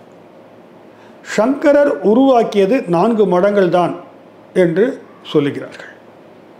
ஆனால் காஞ்சியில் இருப்பவர்கள் என்ன கூறுகிறார்கள் என்றால் இது ஐந்தாவது மடம். அந்த நாலு மடங்களும் சரியாக வேலை செய்கின்றனவா என்று பார்ப்பதற்காக சங்கரர் இங்கே ஒரு மடத்தை உருவாக்கி இங்கிருந்து வந்து அவர் வந்து அதை மேனேஜ் பண்ணார். ஆகவே இது ஐந்தாவது மடம். இன்னும் ஒருபடி மேலே போய் பிற்கட்டத்தில் சொல்கிறாங்க சங்கரர் உயிரியே இங்கு தான் நீத்தார் என்று சொல்லுகிறார்கள். இது இதுக்கு நிறைய விவாதங்கள்லாம் இருக்குது அப்படிலாம் இல்லைன்னு சொல்லக்கூடிய பெரிய மோதல்கள்லாம் இருக்கிறது. அது பின்னால் பார்க்கலாம். சங்கரர் கவுஹாத்தியில் போய் அந்த மலைச்சாரலில் உயிர் நீத்ததாகத்தான் பதிவுகள் சொல்லுகின்றன. சங்கரருக்கும் காஞ்சிக்கு உள்ள தொடர்பு என்னென்னா அவர் வந்து பிற்காலத்தில் தென்னகம் முழுவதும் டிராவல் பண்ணுறார் காஞ்சிபுரத்துக்கு வரார் அவர். ஆக மடத்தை ஸ்தாபித்தாரான்றதில் ஒரு சின்ன ஒரு கருத்து வேறுபாடு சிலருக்கு இருக்கின்றன. ஆனாலும் கூட சங்கரருடைய அந்த பணிகளை வந்து அவங்க நிறைய செய்துக்கிட்டு இருந்தாங்க. டெக்ஸ்ட் ஓரியன்டாகவும் சரி பரப்புதல் முறையிலும் சரி. ஆக இப்படியாக நான்கு மடங்களை ஸ்தாபித்து அந்த நான்கு மடங்களுக்கு நாலு பேரை இந்த பத்மபாத சுரேஸ்வரா போன்ற இன்னும் ரெண்டு சிஷ்யர்களை நியமித்து அங்கே வந்து தொடர்ந்து அத்வைதம் குறித்த ஆய்வுகள் மேற்கொள்வதற்கும் பரப்புரைகள் செய்வதற்கும் பிறகு பக்தி மார்க்கத்தையும் வந்து இணைச்சிக்கிறார் அவர். நம்ம பார்ப்போம். எல்லாவற்றையும் செய்வதற்கு அங்கே வந்து சில கட்டளைகளை விதித்து உருவாக்குகிறார். இந்த சங்கம் உருவாக்குதல் என்பதை வந்து அவர் பௌத்தத்தில் எடுத்துக்கொள்கிறார். புத்தர் தான் வந்து அங்கங்கே சங்கத்தை வந்து ஸ்தாபிக்கிறார். இப்போ பௌத்தத்திலிருந்து ஒரு அமைப்பை உருவாக்க வேண்டும் என்பதை தெரிந்து கொள்கிறார் அவர் அப்படி அமைப்பை உருவாக்கி அதன் ஊடாக அதன் மூலமாக வந்து பல காரியங்களை மேற்கொள்ள அவர் ஏற்பாடு செய்கிறார். சங்கரரின் அத்வைதம் என்பது என்ன? இது பெரும்பாலும் எல்லாருக்குமே தெரியும். அத்வைதம் என்றால் இரண்டல்ல ஒன்றுன்னு. அந்த ஒன்றுதான் பரபிரம்மம். என்றும் கூட நாம் அறிவோம். இந்த பிரம்மம் என்ற வார்த்தையை மிகவும் பிரம்மாண்டமான கட்டமைத்திருப்பார் சங்கரர் அவர்கள். இந்த பிரம்மத்துக்குள்ளே என்ன இருக்குன்னா எல்லாமே இருக்குது முதல்ல பிரம்மத்தை பற்றி அறிந்து கொள்வது தான் ஞானம். பிரம்மம் எத்தகையது அப்படின்னு விளக்குறாரு முதல்ல. ஏகம் ஏக சர்வ வியாபி. ஏகம் ஏக சர்வ வியாபி. ஒன்றே ஒன்றுதான். எங்கும் வியாபித்திருப்பவன் தான் பிரம்மன். சங்கரரை பொறுத்தவரை பிரம்மம் தான் எல்லாமே. இந்த பிரம்மம் எத்தகையது என்று விளக்குகிறார். அது பியூர் கான்ஷியஸ்னஸ் சுத்தமாக இருக்கக்கூடிய உணர்வு நிலை அது. எங்கும் வியாபித்து இருக்கக்கூடியது அது ஒன்றே ஒன்று தான் ஒரே பேருண்மைதான் அந்த பிரம்மம் என்பது.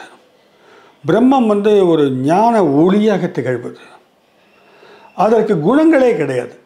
நிர்குண பிரம்மன் அது. பிரம்மனுக்கு குணங்கள் கிடையாது. எல்லா இடங்களிலுமே வியாபித்து இருக்கக்கூடிய பிரம்மன். அவன் அவள் அது என்று சொல்ல முடியாது.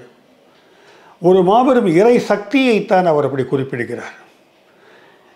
உன்னுள்ளும் இருப்பது பிரம்மம் என்னுள்ளும் இருப்பது பிரம்மம். நீயும் பிரம்மம் நானும் பிரம்மம் என்ற அளவிலே வந்து அவர் அதை கட்டமைக்கிறார். இந்த பிரம்மம் வந்து டைம் ஸ்பேஸ்க்கு வெளியில் இருக்குது. எப்போ ஒன்று கால வர்த்தமானத்துக்கு நேர வர்த்தமானத்திற்கு அல்லது இடத்தை விட விலகி நிற்கிறதோ அதை நம்மால் கண்டிப்பாக அறியவே முடியாது. சாதாரண புலன்களை கொண்டு இந்த பிரம்மத்தினுடைய தன்மையை அறிவது என்பதோ அல்லது நாம் தான் பிரம்மமாக இருக்கிறோம் என்று தெரிந்து கொள்வதோ சாத்தியமே இல்லை. ஏனென்றால் இது எல்லைகளுக்கு அப்பாற்பட்டது. பிரபஞ்சத்திற்கு அப்பாற்பட்டது. வெறும் பொருள் சக்தி அல்ல அது. அது வந்து பியூராக ஒரு கான்ஷியஸ்னஸ் அப்படின்னு சொல்கிறார் இப்படியெல்லாம் வந்து இது வர்ணிக்கும் பொழுது இதெல்லாம் குணங்கள் இல்லை என்று சொன்னாலும் இவையெல்லாம் குணங்களாக ஆகின்றது. இதெல்லாம் குணம் இல்லைன்னு தான் சொல்கிறார் பிரம்மனுக்கு. ஆனால் குணங்களாகத்தான் தெரிகின்றன. இப்படி பரபிரம்மம் என்று சொல்லக்கூடிய மாபெரும் இறை சக்தியானது மட்டுமே உண்மை. அது ஒன்றே ஒன்றுதான். ஏகம் அது. அது ஒரு ஏகாந்த வாதம் அவரது தனிப்பட்ட முறையில் அது மட்டும்தான் உண்மையானது. சரி அது பாட்டுக்கு இருந்துட்டு போகுது. அப்போ நம்மெல்லாம் யார்? அப்படின்ற கொஸ்டின் இருக்குது மனிதர்கள் யார்? உலகம் யார்? நம்மெல்லாம் பிரம்மனுடைய பகுதி தான் நம்மெல்லாம். பிரம்மனுடைய பகுதி தான் எல்லாருள்ளையுமே அந்த பிரம்மனுடைய அம்சமானது குடிக்கொண்டிருக்கிறது இதில் பிரம்மம் குடிகொண்டிருந்தாலும் நாம் பிரம்மமாக உணர்வதே இல்லை. இறை சக்தியினுடைய ரிஃப்ளெக்ஷன்ஸ் தான் நம்ம பிரதிபலிப்புகளாகத்தான் நாம் இருக்கிறோம். ஒரு உதாரணத்துக்கு ஒரு கிரிக்கெட் பந்து இருக்கிறத வச்சுக்குவோம். அதை ஒரு கண்ணாடிக்கு முன்னால் காட்டும் பொழுது ஒரு பந்து தெரியும். இதே கண்ணாடி தூள் தூளாக உடஞ்சி போகுதுனாக்க எத்தனை துகள்கள் இருக்கிறதோ அத்தனை துகளிலும் அந்த பந்து தெரியும். அதே போலத்தான் வந்து நம்ம வந்து பலவாக இருக்கிறோம். அது ஒன்று தான் ஆனால் பலவாக இருக்கிறது. பௌத்த தத்துவத்தில் வந்து பௌ- புத்தர் சூன்யவாதம்னு ஒன்று சொல்வார். சூன்யத்துக்கும் வந்து கொண்டு போய் விடவில்லை பிரம்மனை இவர். பிரம்மத்தினுடைய தன்மை என்னன்னு கேட்டிங்கனாக்க அது சச்சித் ஆனந்தம். சத்தியமாக இருக்கிறது சித்தாக இருக்கிறது ஆனந்தமாக இருக்கிறது. ரொம்ப பயங்கரமான கன்ஸ்ட்ரக்ஷனில் ஒரு பிரம்மன் சொல்லிட்டு எதையோ பேசிகிட்டு இருக்காரு. இதுதான் இன்னி வரைக்கும் தத்துவத்தில் இது உண்மையாக பொய்யான்ற உரையாடல் தான் போய்கொண்டிருக்கிறது இந்திய பரப்பிலே. இது வந்து எப்படி புரிந்து கொள்வது என்றால் எக்கோ டோலே போன்றவர்கள் அனுபவத்தின் மூலமாக புரிந்து கொள்ள முடியும் என்கிறார்கள். சரி அவரவர்கள் அனுபவத்தின் மூலம் இந்த பிரம்மனை உணர்ந்து போகட்டும் நானே பிரம்மன் என்று கூட தெரிந்து கொள்ளலாம். ஆனால் இதை எப்படி ஒரு தத்துவமாக கட்டமைப்பது? இந்த சுய அனுபவங்களை வந்து ஒரு சிஸ்டம் ஆஃப் ஃபிலாசபியாக கொண்டு வர்றது எப்படி? அதை கட்டமைத்ததில் தான் வந்து சங்கரர் வந்து வெற்றி பெறுகிறார். அப்போ இந்த பிரம்மம்னு ஒன்று இருக்குது சரி இருக்கட்டும். ஆத்மான்னு ஒன்று இருக்குது. ஒரு பேச்சுக்காக சொல்கிறோம் ஏன்னா ஆத்மாவும் பிரம்மனும் ஒன்று தான் நம்மெல்லாம் ஆத்மாக்கள். இந்த உடலை பற்றி சொல்லும் பொழுது நாம் பஞ்சபூதங்களாகிய நீர் காற்று நிலம் ஆகாயம் நெருப்பு ஆகியவும் மற்றபடி இந்த மனசு அப்புறம் மூளை இதெல்லாமும் கணக்கில் எடுத்துக்கலாம். ஐந்து பிராணங்கள் வேறு இருப்பதாக சொல்கிறார். அப்பானா உதானா வியானா சமானா பிராணா. இப்படி பல்வேறு காம்பினேஷனில் இருக்கிறது தான் இந்த உடல். அப்போ நான் என்பது இந்த உடல் மட்டுமா என்று பார்த்தால் நிச்சயமாக இல்லை என்று தான் இந்திய தத்துவம் முழுவதுமே கூறுகிறது. இப்போ ஃபிலசாஃபிக்கலாக என்ன ப்ராப்ளம்னு கேட்டாக்க நம்ம இதுக்கு முன்னாடி இந்த காணொளிகள் பல்வேறு ஆன்மீக ஞானிகளுடைய அனுபவங்களை பார்க்கும் பொழுதுலாம் நம்ம மனசை தாண்டி போகும்பொழுது ஒரு கான்ஷியஸ்னஸ் இருக்கும். அந்த கான்ஷியஸ்னஸ் நம்ம உணர்ந்தோம் என்றால் நமக்கு அந்த அனுபவம் கிட்டும் என்றெல்லாம் நாம் ஒரு ஓரளவுக்கு புரிந்து வைத்திருக்கிறோம். சில நண்பர்கள் எல்லாம் கேட்பாங்க உங்களுக்கு என்ன அனுபவம் இருக்குது எதுக்கே பேசுகிறீங்கன்னு இப்படி அனுபவம் இருந்தால்தான் பேச வேண்டும் என்பதெல்லாம் அகடமிக்ஸில் தத்துவத்தை பொறுத்தவரை அனுபவங்களை கேள்வி கேட்பது தான் வந்து முக்கியமான வேலையாகும். சங்கரர் அதனால தான் வெறும் அனுபவ பதிவாக செய்யவில்லை. சங்கரர் வந்து ஒரு சிஸ்டமேட்டிக் ஃபிலாசபியாக வெளியில் வச்சு ஆர்குமெண்ட் பண்ணுறாரு அதுதான் அதனுடைய முக்கியமான விஷயம். அதுக்கான அத்தாரிட்டியாக வேதங்களை கோட் பண்ணுறாரு அப்போ அவர் முன்வைக்கிற விஷயம் என்ன? இந்த பிரம்மன் தான் இந்த ஆத்மனுக்குள்ளே இருக்குது இந்த ஆத்மன் என்பது என்னன்னு கேட்டால் அதுவும் அழிவற்றது. ஏன்னா அது பிரம்மன் இல்லையா? இந்த ஆத்மனுக்கு குணங்கள் இருக்கின்றது. இது சகுண பிரம்மனாக இருக்கிறது. இது கால நேர வர்த்தமானங்களுக்குள்ள அடைப்பட்டதாக இருக்கிறது. எப்படி எப்படி இந்த பிரம்மன் ஒன்று பலவாக இருக்கிறது? என்று கேட்டால் இங்குதான் சங்கரர் இரண்டு விதமான வாதங்களை முன்வைக்கிறார். ஒன்று பரிணாமவாதம் இன்னொன்று விவர்த்தவாதம். இந்த பரிணாமவாதத்தினுடைய தன்மை என்னவென்றால் மூலப்பொருள். விளைவுகளுக்கு காரணமாக இருக்கின்ற மூலப்பொருள் ஒரு விளைவை ஏற்படுத்தும் போது தானும் மாறுகிறது. அப்படின்னு அர்த்தம்னாக்க மாற்றம் என்பது மாறாதது என்ற தத்துவத்தை அது வலியுறுத்துகிறது. பரிணாமவாதம். இதை ஏற்றுக்கிட்டோம்னாக்க பிரம்மன் விளைவுகளை ஏற்படுத்துமானால் அந்த விளைவோடு சேர்ந்து பிரம்மனும் மாறும்படி ஆகிவிடும். அதனால பரிணாமவாதத்தில் அது வருதில்லை. விவர்த்தவாதம் என்ற ஒரு வாதத்தை முன்வைக்கிறார். அதன்படி என்னவென்றால் மூலப்பொருள் மாறுவதில்லை. தான் தானாக இருக்கிறது விளைவுகளில் மட்டும்தான் மாற்றம் ஏற்படுகிறது. இப்படி புறமாற்றங்கள் நிகழ்ந்தாலும் பிரம்மத்திற்குள் எந்த மாற்றமும் நிகழாமல் இருப்பதுதான் பிரம்மம்ன்றார்.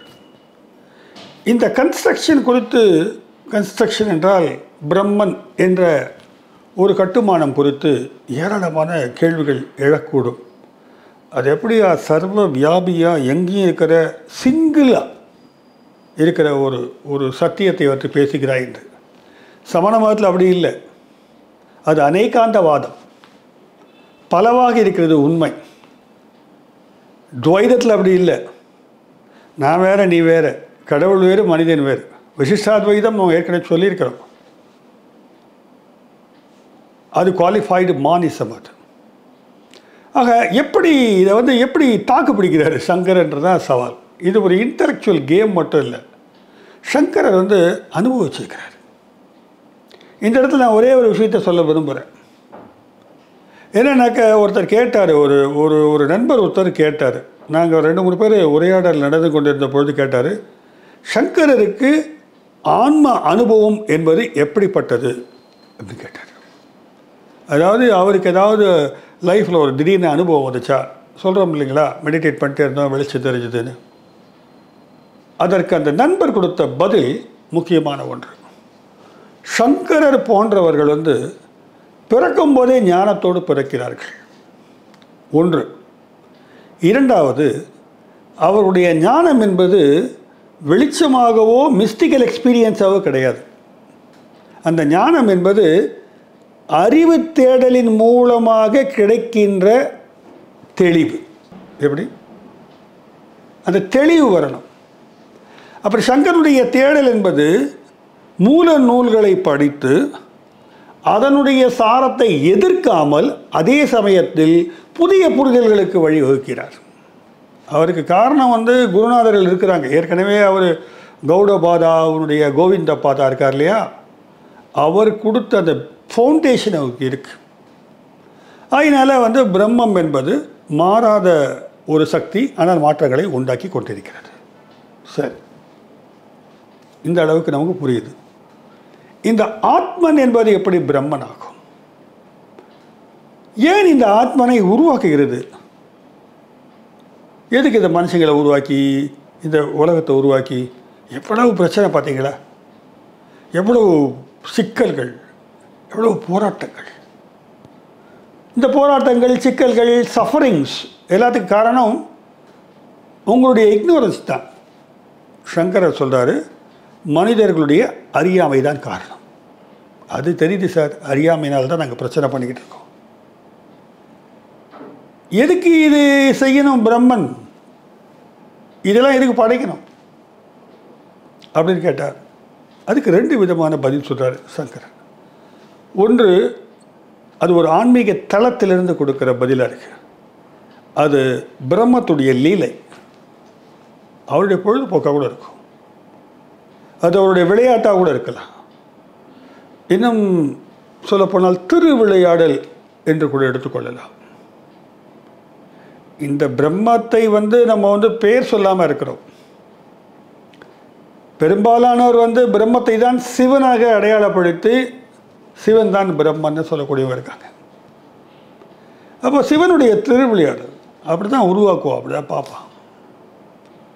இப்படி ஒரு பதில் இருக்கிறது. இன்னொரு பதில் என்றால் இந்த பிரம்மனே சில சமயங்களில் மாயையால் பீடிக்கப்படுகிறான் என்று கூட சொல்லுகிறார்கள். இந்த மாயை பற்றி நம்ம பார்க்க போகிறோம் முதல்ல ஆத்மாவை பற்றி பார்ப்போம். இந்த ஆத்மாவும் அழிவற்றது.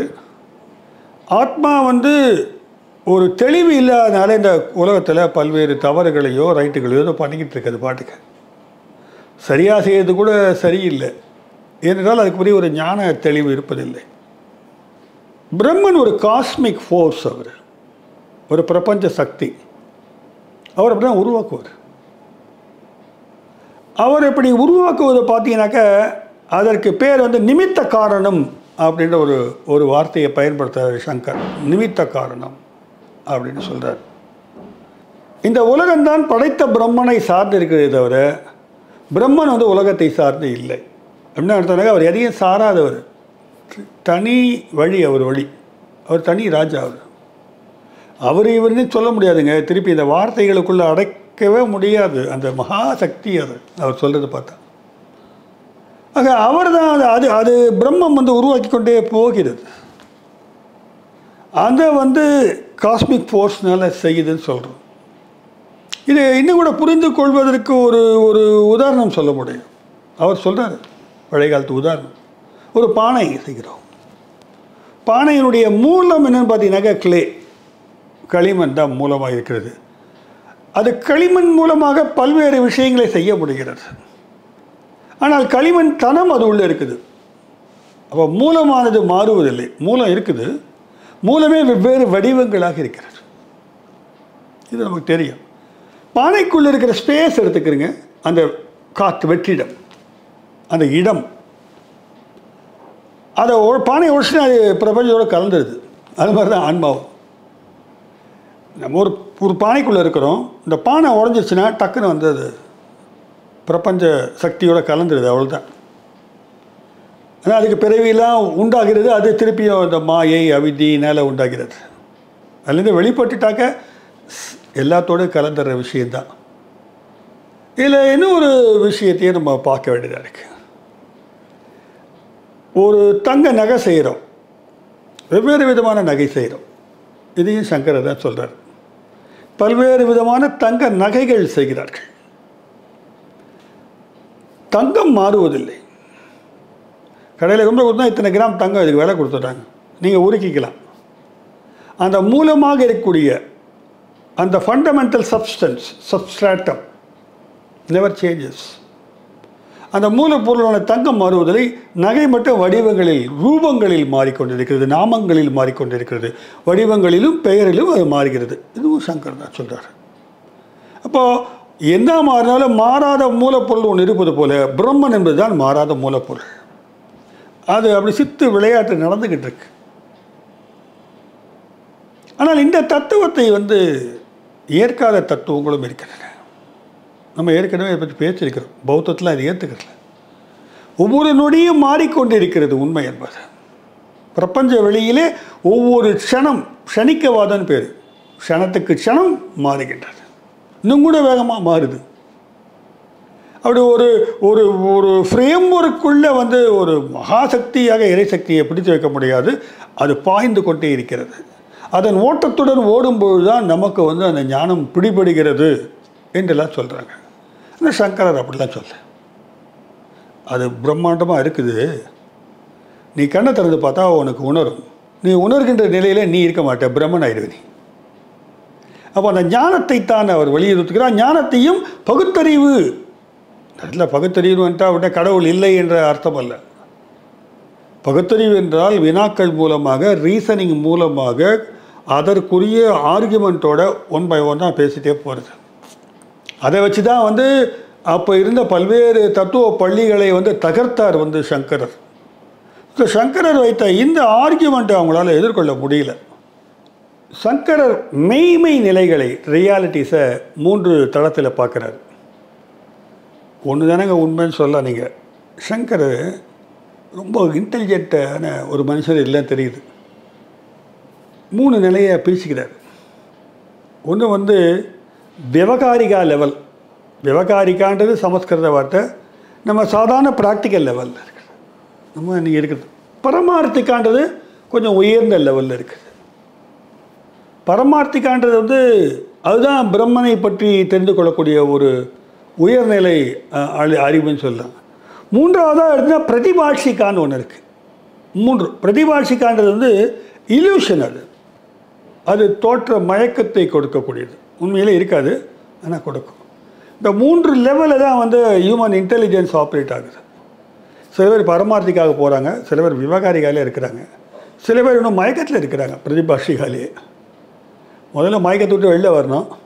அப்புறம் என்ன நடக்குதுன்னு பார்க்கணும் விவகாரிகால.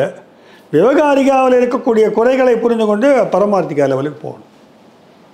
இது ரொம்ப ஈஸியாக இருக்குது சொல்கிறதுக்கு இதை ஜடப்பொருள்களை பற்றி பேசும்போது ஜடப்பொருளுக்கு கான்ஷியஸ்னஸ் கிடையாது. சேத்தனான்னு சொல்லுவார் அவர். அதுகளுக்கு ஒன்றும் கிடையாது. ஆனால் மனிதர்களுக்கு ஜீவன் இருக்குது இந்த ஜீவன் இருக்குன்னா சும்மா இல்லை. ஏற்கனவே நம்ம சொல்லியிருக்கிறோம். இந்த அஞ்சு பூதம் இருக்குது அஞ்சு பிராணம் இருக்குது புத்தி மனசில் இருக்குது. இல்லை இந்த புத்தி மனசு இருக்குது பாருங்கள் இதுதான் இந்த ரெண்டு காம்பனண்ட்டாக ரொம்ப முக்கியமான விஷயம் மனிதனை பொறுத்தவரை. ஒரு ஸ்பெஷல் பீயிங் மனுஷன்றவன் அவனுக்கு அந்த பீயிங் மூலமாக தான் யார் என்பதை உணரக்கூடிய ஒரு கெப்பாசிட்டி இருக்குது அதுதான் அந்த சுதந்திரம் இருக்குது அவனுக்கு. இங்கே தான் மனித சுதந்திரத்தை வந்து பார்க்கிறார் சங்கரர் அவனுக்கு அந்த சாய்ஸ் இருக்குது இந்த ஆத்மாவுக்கு ஒரு சாய்ஸ் இருக்குது தான் வந்து அப்படியே கீழே இல்லூசரி வேர்ல்டுலேயே இருக்கின்ற அவசியம் இல்லை. அது அது உயர்நிலைக்கும் செல்ல முடியும். அதுக்கான சாய்ஸ் இருக்கிறதுக்கு அப்போது இது நம்ம செய்கிறோமான்றது தான் நம்ம கொஸ்டின் சங்கருடைய தத்துவத்தை ஏற்றுக்கிறீங்களா இல்லையா? வேறு விஷயம். ஆனால் இதெல்லாம் உண்மையிலேயே வந்து சாதாரணமான அறிவு கொண்டு பார்க்கும்பொழுது உண்மைதான் நம்ம நிறைய ஃபோன்லேயே உட்காந்துருப்போம் இல்லூசரி வேர்ல்டுலேயே கிடப்போம். ப்ராக்டிக்கல் வேர்ல்டுடைய தன்மைகளை பார்த்தோன்னாக்க இதில் இருக்கக்கூடிய பல்வேறு குறைகள் நமக்கு புரியும். எமோஷன்ஸ்லாம் குறையும். ஆனால் இந்த புத்தி இருக்குது பாருங்கள் அதை விடாது. மனசு புத்தி. புத்தின்றது தான் சொல்லிட்டு அறிவு. அறிவுக்கான ஃபேக்கல்ட்டி மூளை. மனசுன்றது தெரியும் உங்களுக்கு. இது ரெண்டும் மனிதனை உண்மை நிலையை அறிய விடாது. சரியான அறிவை வந்து பெறுவதற்கு விட விடாது. தடுத்துடும் அது. கேட் போட்டு தடுத்துக்கிட்டே இருக்கும். அது அகந்தையும் உருவாக்குகிறது. ஈகோ இதுக்கு மேலே ஈகோ வேற உருவாக்கிடுது. யாராவது ஈகோ பிடிச்சவங்க பேசினாங்கன்னாக்க எனக்கு கோபத்தை விட சிரிப்பு தான் வரும். பல சம் நான் ஒன்றும் ஈகோவே இல்லாதன்னு சொல்ல வரல. லெவல்ஸ் இருக்குல்ல. கண்டிப்பாக இருக்குது நண்பர்களே. நம்ம வந்து கொஞ்சம் கொஞ்சமாக நம்மளை கவனிக்க கவனிக்க உணர உணர இந்த ஈகோவினுடைய அந்த வீரியமானது வந்து கண்டிப்பாக குறைவாகத்தான் இருக்கும். இதான் சங்கரர் சொல்கிறார் அப்போது கொஞ்சம் கருணை கட்டார் சங்கரர். எப்படி? ஐயா இந்த லெவலில் மேல் லெவலுக்கு வரலாமா நீங்கள் நீங்கள் அப்படியே வந்து விவகாரிகாலே இருக்கன்ற அவசியம் இல்லை. அதற்கான வழிமுறைகளையும் பின்னால் சொல்கிறார் அவர். அப்போது இந்த ஈகோ என்பது என்ன செய்யுதுனாக்க நிறைய கற்பனையான ஒரு நானை உருவாக்குகிறது. கற்பனை நான் என்று சொன்னால் நான் எதுவாக இல்லையோ அதுவாக என்னை கட்டமைத்து நம்ப வைக்கிறது. ஃபால்ஸ் ஐ இதுதான் பிரச்சனை பல பேருக்கு. அப்படிப்பட்ட ஒரு ஞானம் வந்து சாத்தியப்படுமா என்று கேட்டால் சங்கரை பொறுத்த வரைக்கும் அதெல்லாம் டெட் வெயிட் இதை வந்து உள் ஒளியில் தெரிந்து கொள்வது. எஃபல்ஜன்ட்னுவாங்க பிரம்மம் ஒளி வடிவமானது. உன் உள்ளே இருக்குது உட்காந்துக்கிட்டு இருக்கு. இதுதான் போட்டு திரை போட்டு மறைக்குது இந்த ஈகோ உன்னை பிரம்மன் என்று அறிய விடாமல் தடுப்பது எது என்று சங்கரிடம் கேட்டால் அவித்யை என்று சொல்வார் அவித்யை அறியாமை. அப்போ இந்த அவித்தியை விளக்கினால்தான் நான் யார் என்பது எனக்கு தெரியும். ரொம்ப கஷ்டம் அது அவித்தியை விளக்குது. அப்போ நான் என்னை அறிவது என்பதுதான் ரமண மகரிஷின்னு சொல்கிறார் இது தெரிஞ்ச வாக்கியமாக இருக்கிறது. ஆனால் சுயநிலையில் நாம் இதை எப்படி செய்வது என்பதுதான் ரொம்ப கஷ்டமான விஷயம். ராமானுஜர் வந்து சரண்டர் ஆகிடுங்கன்ட்டார் நீ எதுக்கே யோசனை பண்ணிக்கிட்டு இருக்க சரண்டர் ஆகிடுங்க இந்தியா மாதிரி அதிகமாக படிப்பு இல்லாத உலகத்தில் வந்து சரண்டர் இஸ் வெரி ஈஸி காலைல விழுந்துருச்சுனா விழுந்துருவோம் ஆனால் சங்கரர் அதை அனுமதிக்கலை. சங்கரர் கூர்மையாக அதை கவனிக்க சொல்லுகிறார்.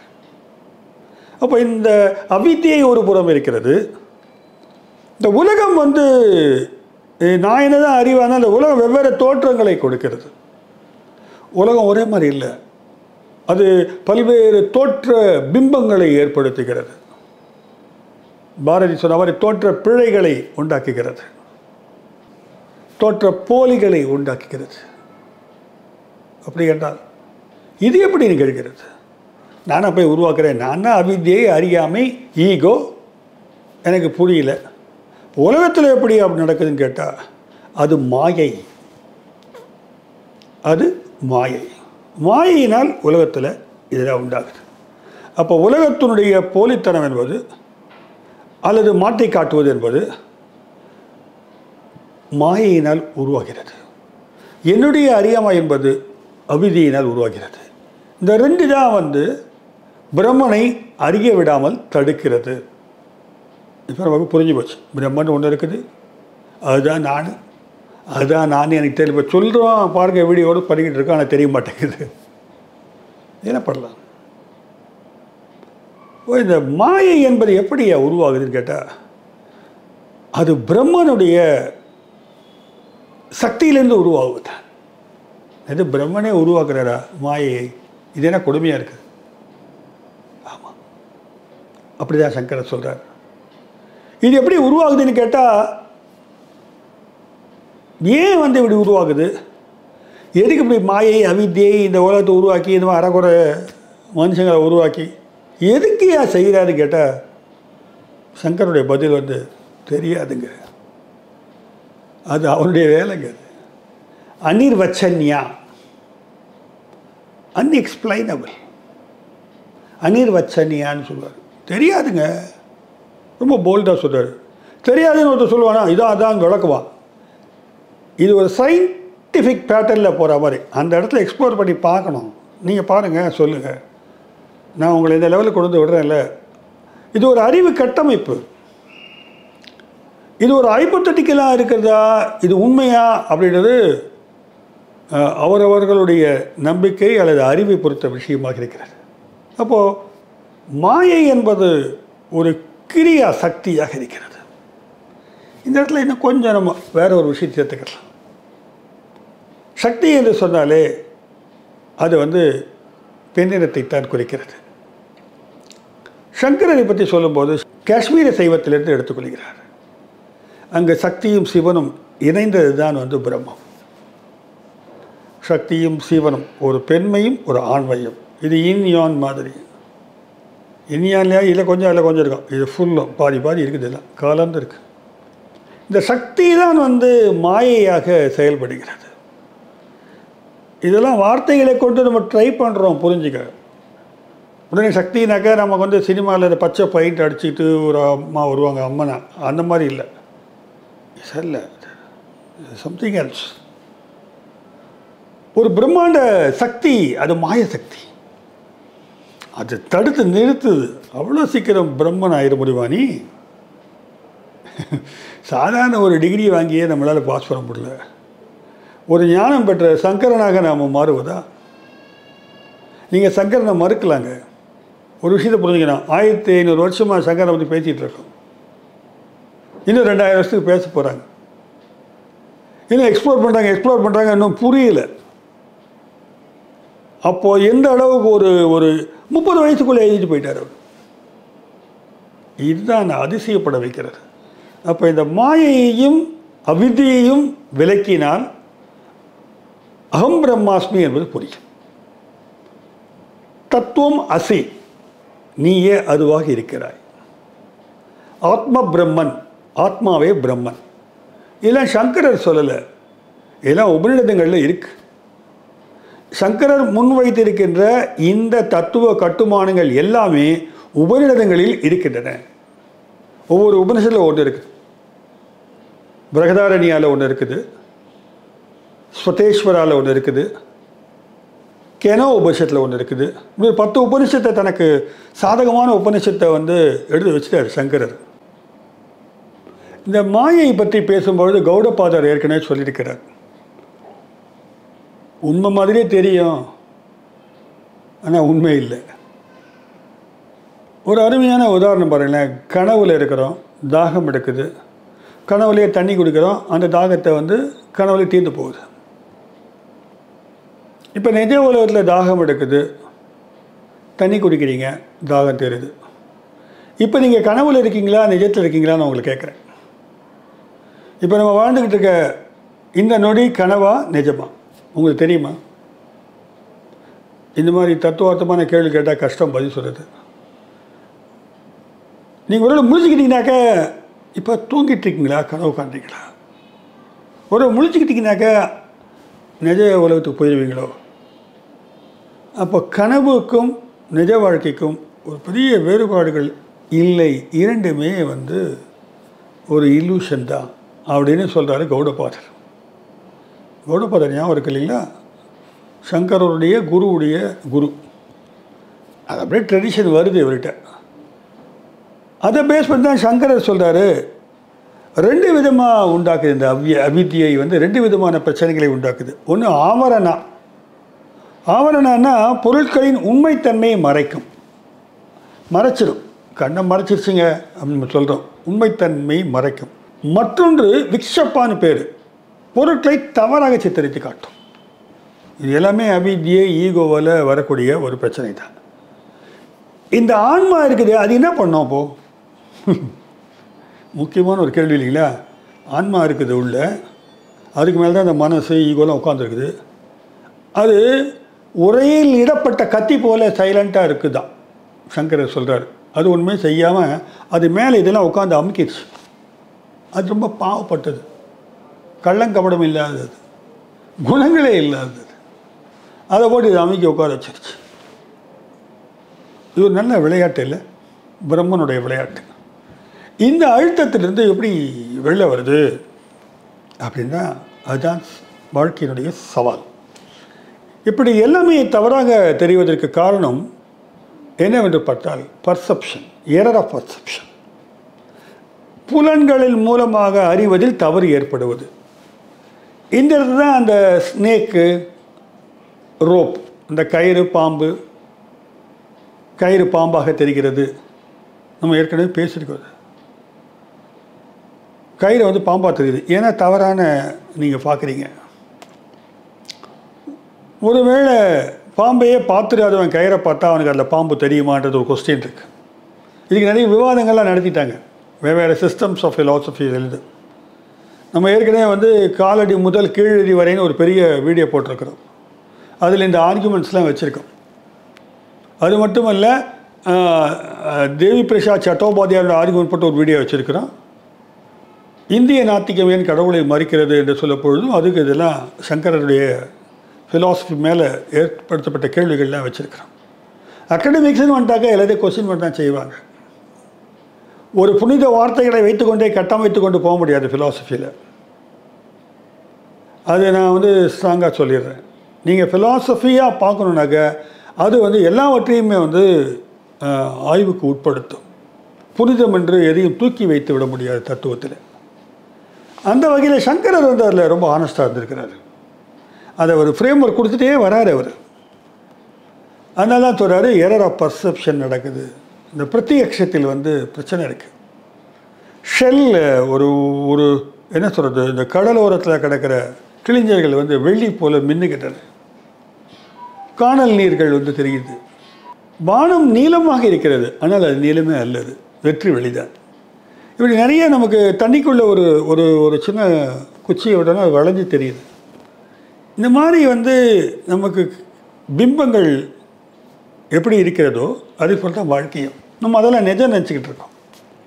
நிஜமற்ற தன்மையைத்தான் வந்து இந்த வாழ்க்கை சுமத்து கொண்டு இருக்கிறது இப்படியே பேசிகிட்டே இருந்தால் சாதாரண மக்களுக்கு கண்டிப்பாக இது போய் சேராதுன்னு சங்கருக்கு தெரிஞ்சு போச்சு. இப்படி தான் உணர்ந்த அறிந்த கட்டமைத்த பிரம்மன் என்ற இந்த கோட்பாடை சாதாரண மக்களுக்கும் புரிய வைக்கணும்னு ரொம்ப ஆசைப்பட்டார். அதற்காக தான் மடங்கள் எல்லாம் ஸ்தாபித்தார் என்று சொன்னோம். சின்ன வயசுலேயே யோசிக்கிறார் பாருங்க. சாதாரண மக்களை வந்து எப்படி உள்ளே கொண்டு வருது அப்போது நான் ஏற்கனவே சொல்லியிருக்கிறேன் பரமார்த்திகா விவகாரிகான்னு இந்த விவகாரிகா லெவலுக்கு சில ஒப்புதல்களை வழங்குகிறார். நம்ம நிறைய கடவுள் வச்சுருக்கிறோம். அவர் சொன்னார் கடவுள்லாம் வச்சுக்குவோம் இந்த உலகத்துக்கான பிரம்மன் இந்த உலகத்துக்கான கடவுள் வந்து ஈஸ்வரன் தான். ஈஸ்வரன்னா நம்ம கோயில் இருக்கிற ஈஸ்வரனில். ஈஸ்வரன்ற சொல் வந்து வேத காலத்திலேருந்தே வருகிறது. இந்த மாய உலகத்தினுடைய கடவுள் அவர் ஈஸ்வரன். அப்போ ஈஸ்வரனை வழிபடலாம். வழிபாடு என்று வந்துவிட்டால் பக்தி என்று வந்துவிடுகிறது அந்த பக்தி செலுத்தும் பொழுது நம்ம வந்து இந்த ஈகோவை வந்து விளக்க முடியுன்றதை வந்து கண்டுபிடிக்கிறார்.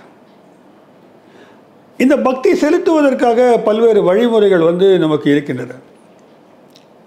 சங்கரர் வந்து பாடல்கள் மூலமாக தானே எழுதுகிறார் சௌந்தரிய லகரி எழுதுகிறாரு நமக்கு தெரியும் பஜகோவிந்தம் எழுதியிருக்கா தெரியும். நிறைய நிறைய பாடல்கள் வந்து அவர் கொடுத்துருக்கிறார். இல்லை சௌந்தரிய லகரியில் ஒரு பிரச்சனை இருக்குது அது கொஞ்சம் வந்து தேவியனுடைய சக்தியினுடைய வடிவ அழகங்களை பற்றி அழகை பற்றி பேசுவது என்னடா சங்கரர் வடிவங்க வடிவங்களை பற்றியும் உடலை பற்றியும் அழகை பற்றியும் பேசுகிறான்னு பார்த்தா அது சக்தி வழிபாட்டு முறை அவர் வந்து காஷ்மீர சைவத்திலிருந்து பிடிச்சிருக்கிறார் அது. அது வந்து தாந்திரிக்க முறையில் அவர் இன்ஃப்ளூயன்ஸ் ஆனதால் எழுதப்பட்டது. அதனால் அப்படி இருக்கக்கூடும் என்று சொல்கிறார்கள். சங்கரர் வந்து பக்திக்கான ஒரு பெரிய ராஜப்பாட்டையை போட்டு கொடுத்தாரு அதை உருவ வழிபாடை வந்து அங்கீகரிச்சிட்டாருன்னு அர்த்தம். பௌத்தத்தில் உருவ வழிபாடு இல்லை. இப்போ உருவம் இல்லாத ஒரு வழிபாடு தான் சங்கரரும் முதல் கட்டமாக வைக்கிறார். பிரம்மத்துக்கு ஏது உருவம்? நாம ரூபம் இல்லை இருக்கு நான் முதல்லயே சொன்னேன் ஆரம்பிக்கும் போதே. பிரம்மம் அது எங்கும் பரவி இருப்பது. அதுக்கு எதுவுமே கிடையாது. குணமே இல்லை நிர்குண பிரம்மன். அப்போ ஒரு சகுண பிரம்மனை உருவாக்குகிறார். பரவாயில்ல கொஞ்சம் கொஞ்சமாக வாங்க. ப்ராக்டிஸ் பண்ணுங்க. அப்போ ரொம்ப டிப்ளமேட்டிக்காக பண்ணாரோன்னு கூட நான் யோசிச்சு பார்ப்பேன்.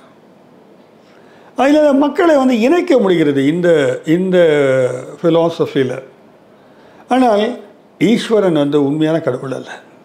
பிரம்மம் தான் கடவுள் என்பது இன்னும் சொல்ல போனால் நமக்கு ஏதோ வாரி வழங்கக்கூடிய அல்லது நம் பிரச்சனைகளை தீர்க்கக்கூடிய சக்தியாக மட்டும் அல்லது நாம் தான் அந்த பிரம்மமாக இருக்கிறோம் என்பதை புரிய வைப்பதற்காக அந்த நிலைக்கு நம்ம போகலான்றது இந்த பரமார்த்திக்காக போகிறதுக்காக விவகாரிக்கால ஒரு வேர்ல்டை கிரியேட் பண்ணிட்டார். இன்னும் ஒரு சிக்கல் இருக்குது. இங்கே இருக்கிற எத்திக்ஸ் இது தப்பு இது ரைட்டு இவர் பண்ணுறதுலாம் தவறானது அப்படின்னு சொல்கிறோம் இல்லைங்களா? அதெல்லாம் வந்து ஹையர் லெவலில் கிடையாது. பிரம்மனுக்கு உங்கள் எத்திக்ஸ்லாம் பெரிய விஷயமே இல்லை. இல்லை நீங்கள் உருவாக்கினது மனிதர்கள் உருவாக்கின எத்திக்ஸு மனிதர்கள் உருவாக்கின அறக்கோட்பாடுகள். உண்மையாக அதுக்குன்னு அறக்கோட்பாடே இல்லைன்ற அளவுக்கு சொல்கிறாருன்னா அப்படி இல்லை. அந்த ஒரு ஆன்மீக நிலைக்கு மனிதன் சொல்லும்பொழுது அறம் என்பது இயல்பான குணமாக இருக்கும். இதுதாங்க ஸ்பிரிச்சுவாலிட்டியில் முக்கியமான விஷயம். ஒரு நபர் வந்து ஸ்பிரிச்சுவல் அட்டைன்மெண்ட் இருக்கிறார் இல்லையான்றது வந்து என்னை பொறுத்த வரைக்கும் அவர் இயல்பாகவே அறத்துடன் இருக்கிறாரா? அறம் என்று சொன்னால் அன்பு கம்பேஷன் கம்பேஷன் என்றால் கருணை. மாற்றானுடைய வலியை தன் வலியாக கருதுவது. அது அது இன்னும் நிறைய சொல்லிட்டு போகலாம். இந்த மாதிரியாக அவருக்குள்ளே இருக்குதா? அது அவர் சொல்கிறாரு முக்கியமான ஒரு நிர்குணமாக இருந்தாலும் இதெல்லாம் இயல்புன்றார். அப்போது எத்திக்ஸ்லேயும் கூட நம்ம தான் கட்டமைச்சு வச்சிருக்கிறோன்றதையும் சங்கரர் வந்து சொல்கிறாரு அதே சமயத்தில் அவர் கண்ணோட்டத்தில் கீழ்ப்பரப்பில் இருக்கக்கூடிய மாயையில் மாட்டிக்கிட்டு அவிதியில் இருக்கிற மனிதர்கள் மேலே வரணும். சரிங்க மேலே வரணும். என்ன பண்ணணும்? அதை வழி காட்டுறாரா? காட்டுறாரு அவர். யோக பயிற்சியை பொறுத்தவரை அவர் வந்து அதை வந்து ஒத்துக்கிறார். யோகா ஃபிலாசபியில் ஃபிலசாஃபிக்கலாக அடிப்படையை ஒத்துக்கிறல அவர். ஆனால் யோகாவினுடைய அந்த டெக்னிக்ஸ் அத்தனையை வந்து உடற்பயிற்சியெலாம் ஒத்துக்கிறார். எல்லாருமே யோகத்தை ஒத்துக்கொள்வார்கள். ஏனென்றால் அதில் யமா நியமான ரெண்டு கான்செப்ட் இருக்குது அது எத்திக்ஸ் அது. ஒழுக்கம் டிசிப்ளின் பிறரை பாதிக்காமல் எப்படி வாழ்வது என்ற ஒரு மனநிலை பிறன் பொருள் விரும்பாமை.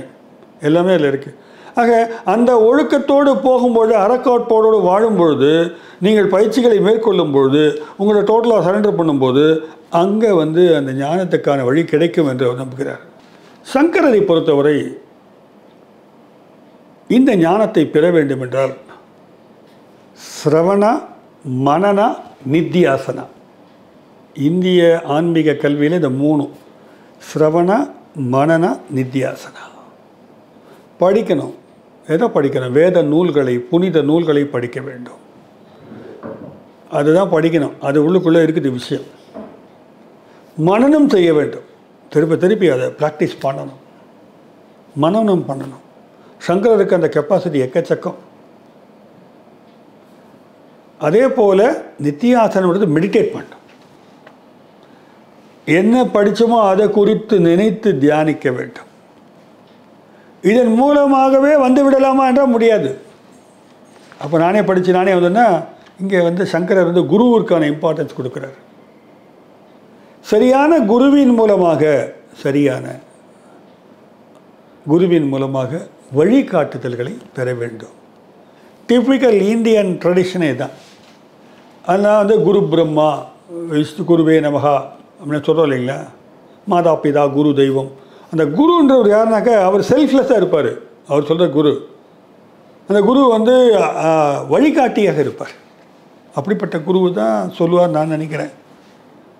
ஆக இதன் மூலமாகத்தான் வந்து நீங்கள் அந்த படிப்படியாக நிலைக்கு செல்ல முடியும்.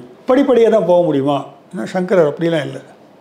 இன்ட்யூஷனும் சாத்தியன்றார் சடனாக ஒரு ஒரு தெரிப்பாக உங்களுக்கு ஒரு ஒளியாக வந்து அந்த அஞ்ஞானம் கிட்டலாம் அதை வந்து சங்கரர் வந்து அனுமதிக்கிறார். மனம் குழப்பத்தோடு மனம் பல்வேறு திரைகளை போட்டு பல்வேறு கோஷாக்களை போட்டு இந்த ஆன்மாவானது மறைக்கப்பட்டிருக்கிறது. அன்னமய கோஷா பிராணமய கோஷா மனோன்மய கோஷா விஞ்ஞானமய கோஷா என்று பல்வேறு திரைகள் மனதிற்குள் வேலை பல்வேறு என்ன குவியல்கள் போலியான கடந்தவையெல்லாம் உண்மை போல தெரிகிறது நடக்கப் போவதையெல்லாம் உண்மை போல தெரிகிறது நடப்பவை தெரியாமலே போகிறது. இந்த மாதிரி பல்வேறு விஷயங்களை நம்ம பார்த்துருக்கோம். ஒரே மின்னலாக தெரித்து இது அத்தனையும் கிழித்து விட்டு ஒரு ஒளி கீற்றாக அந்த ஞானம் தோன்றக்கூடும். அப்போ இதை கர்மா கர்மெல்லாம் கிடையாது. விவகாரி லெவலில் கர்மா உண்டு. ஆக இதுதான் வந்து அவர் வந்து சொல்கிறார் அப்போ அந்த லெவலில் நமக்கு என்ன உணர்வு கிடைக்கும் என்று அவர் சொல்வதாக நான் எளிய அளவிலே புரிந்து கொள்ளுகிறேன் என்றால் எல்லாமே பிரம்மம்தான். எல்லாமே பிரம்மம். எல்லாமே வந்து நான் நீங்கள் உலகம் மரம் செடி கொடி உயிர்கிணங்கள் எல்லாமே பிரம்மம் அப்படின்னு சொல்கிறாரு இதை வந்து ஏற்றுக்கணுன்ற அவசியம் இல்லை. உண்மை பலவாக இருக்கலாம் அல்லவா? இறைவன் நான் எட்ட முடியாத தூரத்தில் கூட இருக்கலாம் அல்லவா? இறைவனே இல்லாமல் கூட இருக்கலாம் அல்லவா? இதெல்லாம் இப்படி பல்வேறு கேள்விகள் இருக்குது அந்தந்த பொசிஷன்லேருந்து நிறைய பேர் கேள்வி கேட்டுக்கிட்டே இருக்கிறாங்க. அது வந்து சங்கர்கிட்ட இன்னொரு கொஸ்டின் இருக்குது. வர்ணாசிர தர்மத்தை சங்கரர் எப்படி பார்த்துருப்பார்? சங்கரரை பொறுத்தவரை இந்த உணர்வு நெறிகள் சாதி மத இனங்களுக்கு அப்பாற்பட்டது தான் இந்த ஞான நிலை என்பது. இதில் வர்ண பேதமே இல்லைன்றார் அவர் அவர் பகவத்கீதைக்கு உரை எழுதினால் கூட இந்த ஞானஸ்தனுக்கு வர்ணமே கிடையாதுன்றார். ஆனால் ராமானுஜர் வந்து களத்தில் இறங்கி வந்து வேலை பார்த்தார். ஒடுக்கப்பட்ட மக்களை வந்து வைஷ்ணவர்களாக மாற்றினார் அப்படிலாம் இவர் செய்யலை. இவர் கருத்து தெரிவித்தார் இதுதான் விளக்கம் என்று கூறினார். அப்படித்தான் இருப்பார்கள் என்று சொன்னார். ஆனால் இப்படி எல்லாம் இப்படி இவரை போன்ற மகான்கள் வந்து நிறைய சொல்லியிருக்கிறாங்களே தவிர இவர் இவருக்கு மறைவுக்கு பின்னால் ஏற்பட்ட அந்த மடங்கள் எல்லாமே எப்படி ஆயிடுச்சுனாங்க எல்லாருமே ஒரு குறிப்பிட்ட இதுக்குள்ளே வச்சுக்கிட்டாங்க. அவங்க சில பிலீஃப் ஃபெய்த்து இன்னும் சொல்லப்போனால் வெளிப்படையாக சொல்லப்போனால் சாதி கட்டுமானங்களுக்குள் இயங்க தொடங்கிவிட்டன இந்த நிறுவனங்கள் எல்லாம். இந்த சங்கர்கிட்ட கேட்டார் பார்த்தீங்களா முதல்ல எதை ஒதுக்க சொல்லுகிறாய்? அதுதான் அத்வைத்தனுடைய பொசிஷன் ஆனால் ப்ராக்டிக்கல் லெவலில் விவகாரிக லெவலில் அப்படி இருக்கிறது எனக்கு தெரியல. ஆக சங்கரர் முன்வைத்த அத்வைதம் என்பது இரண்டல்ல உண்மை ஒன்றுதான். அந்த உண்மையும் நாம் எல்லாம் சேர்ந்தது தான் அந்த அந்த உண்மை. நீங்களும் பிரம்மன் நானும் பிரம்மன். இந்த உலகிலேயே நாம் அவித்தியினால் பிரிந்து போய் கிடக்கிறோம்.